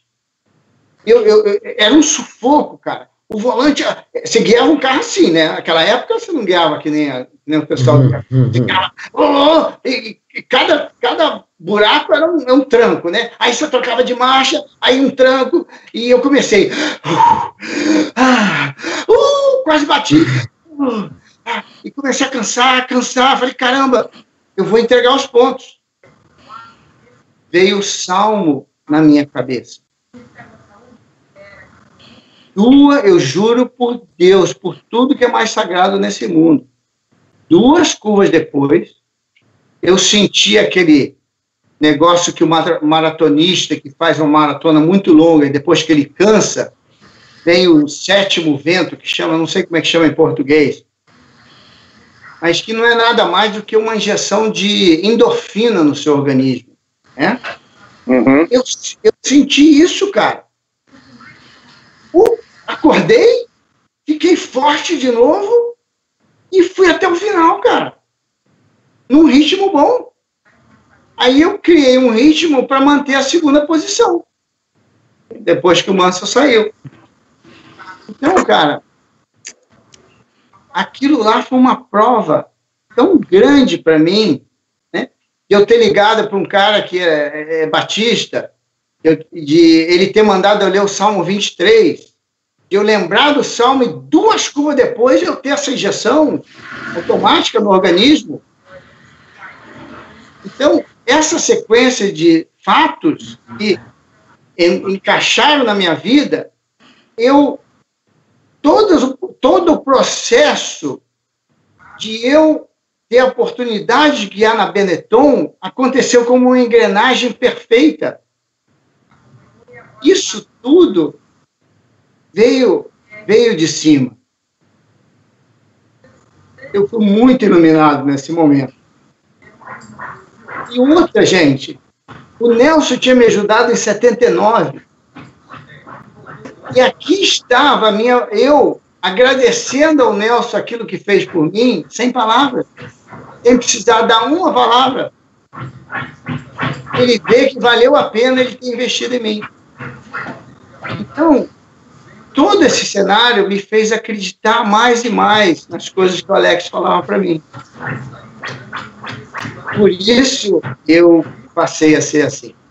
Essa é uma das pequenas coisas que aconteceram. Roberto, esse, esse teu depoimento é uma das coisas, é a segunda coisa mais emocionante que a gente viveu é, depois do pódio de 1990. Estou vendo que o Rodrigo está super comovido. Eu tô, eu tô. É, eu tô você eu tô, também. E... Eu estou por uma razão, Flávio, desculpa te interromper, eu estou por uma razão especial, porque naquele 21 de outubro de 90, é, aquilo foi é, são dois pilotos que a gente aprendeu a admirar. O Nelson estava meio por baixo, aquela coisa toda, não ganhava corrida, havia três anos, e de repente vem o Moreno junto e tem aquele choro no parque fechado, tem aquela emoção no pódio. Os dois e o Aguri Suzuki, que era um, um coadjuvante é. improvável. O primeiro japonês a subir num pódio numa prova de Fórmula 1. E a coletiva, que o Moreno deve se lembrar, da primeira palavra do Nelson, muito prazer, meu nome é Nelson Piquet que havia três anos ele não ganhava. Então, é, é, foi um troço surreal. E eu, na qualidade de, de, de, espectador, de fã, que eu era na época, eu tinha 19 anos. Moreno, não foi só você que chorou naquele, não foi só você que chorou naquele dia, não. Eu também. E muito, cara. Não, e o Senna foi campeão naquele dia, né, Alberto? Foi, o Senna foi campeão naquele dia. Além de ele jogou o Prost para fora lá na primeira curva, ele foi campeão. Isso, exatamente. E mais uma coisa que aconteceu que eu esqueci de falar o Quentinho veio depois para mim, falou, Roberto, você é um ídolo para mim a partir de hoje. Eu achava que você não ia terminar essa corrida. Eu não achava você preparado para terminar uma corrida. Eu fiz uma aposta com a minha mulher contra você. E eu, eu é, orgulhosamente perdi a aposta. Uhum. É, um, é um prazer ver você aqui. Roberto, Olha, eu vou te fazer duas Desculpa, não, dá tempo fala, de eu fazer essas duas perguntas, Flávio? Claro, claro. Eu vou te fazer duas perguntas que são fáceis, porque elas são simples, e difíceis, porque tem muito a ser escolhido para ser um só. Queria que você me falasse qual foi, qual corrida você considera a corrida da sua vida, talvez seja essa do Japão, e qual é o carro que te deu. Não, qual foi? Ah, eu te ponho duas corridas na frente de Japão o, Fórmula, o Festival de Fórmula 4, que é o, a, World Cup 1980. 1980, aquela foi uma corrida bem ganha. Aquilo foi muito bem ganho. E o Grande Prêmio da Austrália de 1981, que se você botar no YouTube, Sim. Austrália Grand Prix 1981, você pode assistir ele completo. Sim, Aquela corrida íntegra. ali, com carro igual, eu vencer do Nelson, apenas campeão do mundo, que trouxe todas as molas especiais da Brabham para botar no carro dele, e do Alan Jones, que tinha ganho a última corrida de Fórmula 1 de Las Vegas, naquele ano, aquilo sim foi ganhar uma corrida. E eu dei uma volta no Nelson, uma piscina pequena, tá? Foi. Mas eu dei uma volta, né? Ele falou, pô, tu podia ganhar, mas não precisava dar uma volta em mim, né? então, o problema o que, que é, gente? Essas corridas ninguém assistia na Globo. Sim, a gente sabia porque a gente, a gente era fanático, sabia, né? Porque a gente sabia porque chegava a notícia aqui, demorava, mas chegava. Então, tem, tem tantas coisas que se eu pensar um pouquinho aqui, tem tantos é, desafios na minha vida que eu venci, e são inúmeros. Eu, eu, eu costumo, de um amigo meu costumava me, costumava me lembrar, Roberto, você, você só conseguiu é, atingir algumas coisas na sua vida porque nunca falaram para você que era impossível. Então, eu, eu, eu fiz coisas que muita gente achava impossível serem reais. No mundo de corrida, tá? Nesse mundo de corrida. Porque eu sempre acreditei em mim. Eu sempre fui para frente sem pensar. Então, é, tantos desafios, né, que são inúmeros. Então, para mim, o Japão foi muito importante. E foi muito importante eu ter mostrado para o Nelson que valeu a pena ele ter acreditado em mim. Só para lembrar, outra... esse grande prêmio da Austrália de, de 81, se tem gente que deve estar tá falando assim, mas como assim? 81? O, o, Roberto não corria na Fórmula 1 ainda.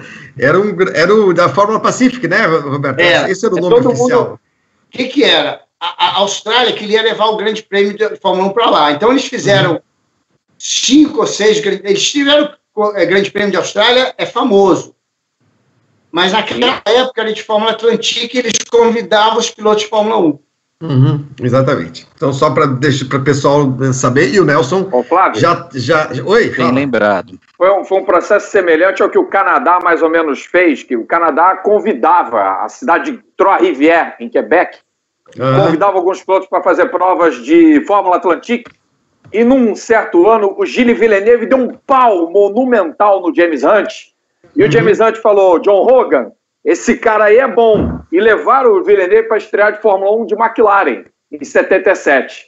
Mas Exatamente. o Chris Amon falou do Villeneuve para o Daniel Aldeto, e o Daniel Aldeto, que era o chefão, era o Marco Pitinini da época do Moreno, uhum. o Daniel Aldeto levou o Villeneuve para a Ferrari. E, a, e, o resto da história todo mundo sabe. Exatamente. A segunda pergunta, Bandido, qual que era? A segunda pergunta que também é fácil, mas eu acho que é difícil para o Moreno escolher. Você guiou um monte de carro, de tudo quanto era equipe, de tudo quanto era categoria. Qual é aquele que te deu mais prazer, assim, aquele que você, pô, eu gostaria hoje de pegar esse carro e dar mais uma volta nele só para recordar os bons tempos? Tem esse algum é que se destaca? Esse, é, esse é fácil. é fácil. Esse é fácil. Esse é o carro melhor do mundo até hoje. É o Williams de 1987. Da Honda 4 Bar. Aquele carro é fantástico fantástico. Nunca Fala um existiu... pouquinho sobre esse teste, Moreno, porque pouca gente. É, foi um teste pouco divulgado e acho que foi um só, né? Foi depois da corrida de Zeltweg, né, uhum. né, que hoje chama Red Bull Ring. Red Bull Ring. Isso. Aquela pista era um pouquinho mais difícil do que é hoje. Ela e tinha muito uma rápida. Curva de, uma curva de 180 graus que tinha 4G de força o tempo todo naquela curva, do começo ao fim. O Nelson falou para mim, Roberto, estou sabendo que o Toronac, é, eu, eu, eu, liguei para o Nelson para avisar que eu fui chamado para correr para fazer o teste da Williams.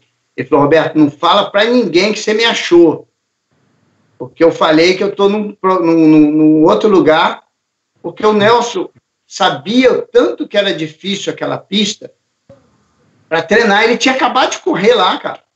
Aí não queria fazer um treino lá. E era um treino aerodinâmico. Ele falou, e ele estava ele tava ainda convalescendo da porrada de Imola, né? Não sei direito, eu já não sei.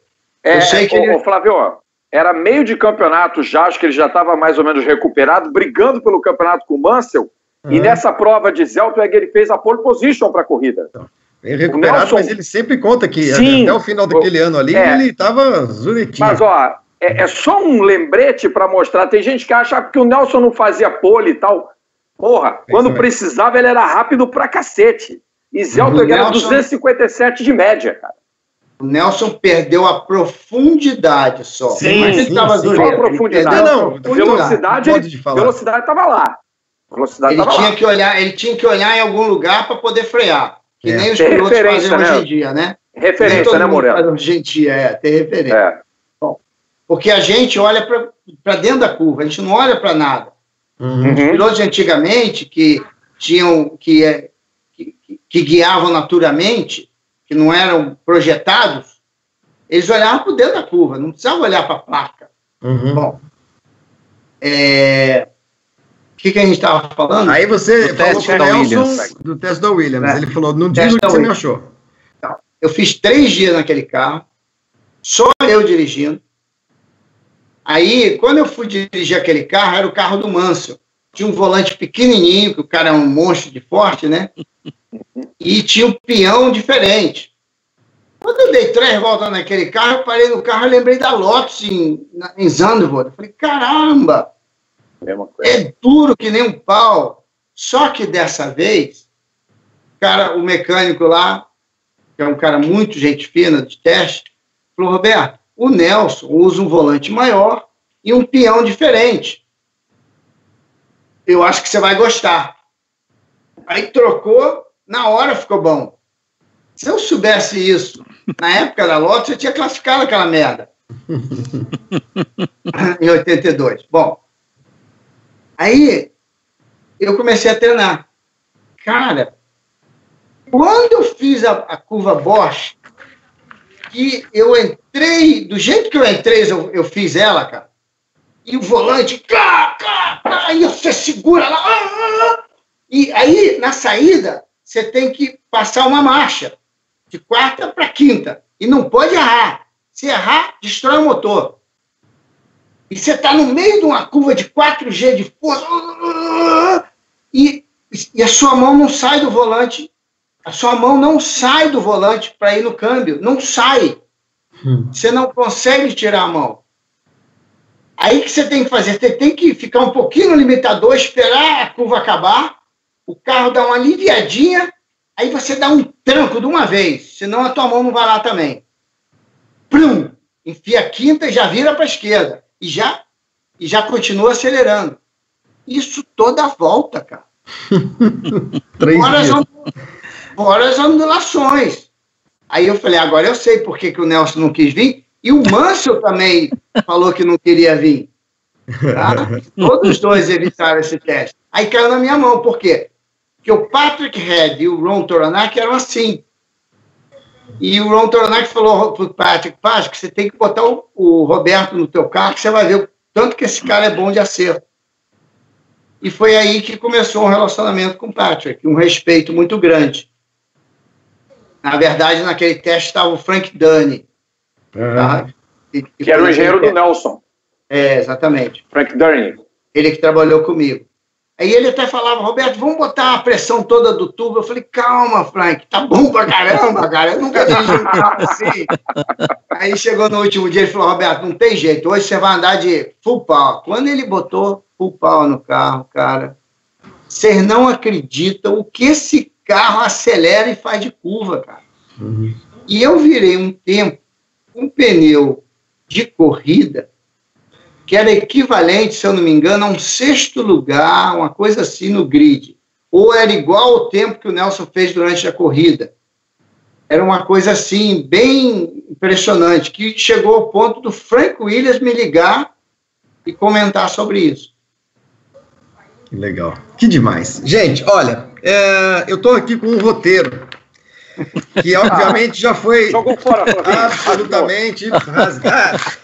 E, e, entre as coisas que faltaram falar, e, e, e, nós vamos ter de fazer outra, a chegada do Roberto na Fórmula 1, a Lotus, a, a, a, Fórmula Indy, obviamente, as passagens pelos Estados Unidos, as vitórias nos Estados Unidos, tem muita coisa, porque nós estamos falando de um cara que tem uma história muito vasta, uma trajetória linda. É, a gente acabou não, não pedindo até para você resumir nada, Roberto, porque o começo da nossa conversa foi tão divertido, foi tão delicioso, e eu acho que estava fazendo bem para você também de lembrar essas coisas, porque vai, a gente vai puxando as coisas, né? É que nem um novelo de lã, né? Você vai puxando. Sabe o que acontece, Flávio? Hum. Sabe o que acontece? Para mim está sendo muito importante isso, por quê? Porque no Brasil as pessoas só viram o que aconteceu e apareceu na Globo. Uhum. Uhum. Poucas pessoas sabem. Hoje em dia já são duas gerações que nem o pai mais me conhece. Não é só o filho que já não me conhece dos novos pilotos. Até uhum. o pai já não me conhece mais. Uhum. E pouca gente no Brasil sabe da capacidade que eu tinha de acerto de carro e de, o tanto que eu fui iluminado no meu projeto e que a minha carreira foi só sucesso. Por quê? Eu não saí do Brasil para ganhar corrida. Eu saí do Brasil para fazer você uma carreira. Uhum. E fez. Não, Roberto, você teve dois. Tirando a parte toda de Brasília, é, o, o, o AC, né, o antes da Camper, e, e, a, e, a, e da Camper, e, aquela, e aquele, toda aquela dessa, dessa sua adolescência e juventude, dois episódios que você contou hoje, hoje é, a história da Benetton, né, do momento em que você uh, liga para o cara, para o Harry Blash, até você levantar o troféu lá em Suzuka. E a história da Ferrari, são, essas por si valem livros, não estou exagerando, não estou exagerando. Espero que o teu biógrafo faça uma biografia muito, muito gorda, porque esses casos, só esses dois episódios merecem. E, e é impressionante, é impressionante a quantidade de detalhes que você lembra. Essa sua memória é, é um negócio. É, é, olha, é o paraíso de qualquer biógrafo, porque os detalhes são, são muito Mas, saborosos. Né? Eu, eu, eu, deixo a desejar, às vezes, algumas datas, e o Márcio me ajuda com isso. Sim. E ele, ele pede ajuda até a, a Bandini também. E muito obrigado pela ajuda sua. E, Imagina. O, o livro já está com 250 páginas, mais ou menos e nós estamos ainda em 87. É, está é, é, resumido. Não, tem Mas, muita coisa. Então, enfim, tem muita É para chegar a mil páginas só, tranquilamente. Só acrescentar uma coisa. Deixa eu só Oi, acrescentar diga, uma coisa. Existe um outro livro que está sendo produzido, que é o meu. É o das saudosas pequenas saudosas de pequenas que, que E o Moreno está. E o Moreno é várias delas, claro. Várias delas. E o que claro. ele falou do Eurobrum vai ser incluído no texto original. E tem coisa, por exemplo, se a gente parar para falar da Andréa Moda como um todo, é, o Sassati, não sei se vocês ah. sabem da existência ah. desse cara, se ele existe ah, ainda. Está vivo ainda, está vivo, né? Se vocês não têm é. contato, eu acho que esses, esses, esses, é, esses outros episódios todos são muito saborosos e é por isso que eu vou assumir aqui o compromisso, eu vou pedir que você assuma também, Roberto, de a gente fazer outra, para contar outras coisas. Nós, nós estamos a três horas e meia aqui. Para mim. E, é... e, as pessoas devem. Fala, fala. Eu saí do Brasil cedo uhum. e nunca mais voltei. Voltei para Natal, Ano Novo, família. Eu nunca gostei de falar de corrida no Brasil Cheguei a, fazer um ano de corrida na, na, na GT no Brasil, mas eu nunca tive uma ligação muito forte com o Brasil, tá? Para mim é muito importante eu passar isso para as pessoas que sempre torceram para mim e me viram correr na, no Japão, porque essas pessoas não sabem da história do Roberto. Uhum. Eu, eu faço questão de ajudar vocês naquilo que vocês precisarem e contar quantas histórias forem necessárias. O meu livro está ficando muito bacana com o Márcio Madeira e eu, ele está dando uma acelerada agora. Eu acho que vai sair cedo, mais cedo do que a gente pensava, mas vai sair. Vai sair porque precisa ficar escrito essas coisas. Sim. Sim, precisa, precisa mesmo. Precisa demais. Ô, Pandini, queria te agradecer. Eu vou encerrar porque senão a gente não sai daqui. E, não. E a minha, a, é, é, a, Célia já deve estar tá, é, é, brava. O Pandini não sei se está casado. Mataram sei que não ah, está. Eu, eu, não estou mais casado, não. Eu, eu Você não está casado? Ah, ah, não, não. Então tá bom. Mas é, não, Flávio, eu, enquanto que... a gente fazia aqui, eu vi a minha namorada, que eu acho que agora é esse, passando aqui aqui, aqui à esquerda, indo em direção à porta, e falou assim, tchau, e foi embora. Então, né, imagina. Uma coisa, curto e grosso, curto e grosso. Você ainda está ligado ao automobilismo, o que, que você faz hoje? Pronto, é a minha última pergunta. Eu sou coach de pilotos é, qualquer tipo de piloto. Eu tenho uma influência muito grande, tanto na Europa quanto nos Estados Unidos. E hoje eu estou praticamente uh, dando uma força para o Igor Fraga. Que é e, ótimo, hein? Mas eu não estou trabalhando para ele diretamente, uhum. porque ele não tem dinheiro para me pagar. Eu estou ajudando ele assim como amigo, esperando no futuro a gente poder fazer alguma coisa juntos. E procurando emprego, como todo mundo depois desse coronavírus. Pois é. é. Mas encontraremos. E vamos fazer outros, porque são muitos assuntos, muitos mesmo, que a gente deixou de abordar, deixou de conversar, uhum. de falar. Tem coisa pra caramba, tem muita coisa. A carreira é muito longa. E eu faço questão de, de, de fazer outra, nem que talvez até semana Vamos que vem, gente. pra gente Vamos retomar, aprender. falar da Indy, falar da Lotus, falar de outras coisas, enfim, é, falar da vida, né? Também. Roberto, eu queria te agradecer. Eu diga, tenho diga. Duas, duas lives. Eu tenho uma segunda-feira com o Forgaza às 21 uhum. horas do Brasil, e uma com Lito Cavalcante na semana seguinte, que eu acho que é também às 21 horas. Que ótimo. No Instagram, no dia 18. Fora isso. Teve, que teve com a gente aqui semana retrasada, falando de Grande Prêmio do Brasil, enfim, de outras coisas. Um queridão deve estar acompanhando também. Eu queria agradecer os três. Começar por você, Pandini, uh, pela presença, por esse período, esse tempão que a gente ficou conversando, mas olha, passou assim, foi demais. Obrigado, Panda. A gente vai fazer foi. outra. Obrigado, Flávio. Obrigado, Moreno, pelas lembranças. Vamos retomar os assuntos aqui. Sempre um prazer conversar com vocês. Quando só me chamar que eu participo. Obrigado gente, a todos os que nos assistiram. Gente, muito obrigado pela força de vocês. Obrigado a todo mundo que está assistindo a gente. E até a próxima, né? Até a próxima, até a próxima mesmo. Matar, até a próxima também. Eu vou, inclusive, eu, eu, vou falar com o Berton aqui. Berton, se você quiser, você pode desconectar os três. Eu vou dar aquela passada para ninguém ficar aqui ouvindo só a, a, as menções aos, aos, nossos internautas. Então, um beijo grande, Roberto, um beijo grande, Rodrigo, um beijo grande, Pandini. Baixou, obrigado por tudo, Foi, meu querido. É, realmente histórico, viu, o, o, o, Roberto? Porque tem coisas, esses detalhes que a gente, pô, a gente fica aqui viajando. Foi demais. Parabéns por tudo História, e até o próximo. Histórico esse volante aqui, ó. É, exatamente. É, Momo, Gian Piero Moretti, é isso aí. É isso mesmo. Gente, muito obrigado a todos. Uh, são quase quatro horas de, de, de live. É realmente um, um negócio um pouco fora do normal. É, eu queria agradecer a todas as pessoas que mandaram aqui as suas perguntas uh, que mandaram no superchat. Eu sei que eu estou desvirtuando tudo que o Berton, o Vitor, a Evelyn pedem, que é para mencionar um por um aqui e tal, mas infelizmente não vai dar, porque está muito tarde, estamos todos cansados. Gente, mas estamos. E esse pessoal, se estamos... vocês mandarem, se vocês mandarem para mim as perguntas, eu respondo esse pessoal pelo Instagram. Olha, perfeito. Berton, faça isso, pega o pessoal do Superchat, manda direto as perguntas pro, pro, pro Roberto, que é melhor ainda, vai um, um contato pessoal. Obrigado a todos.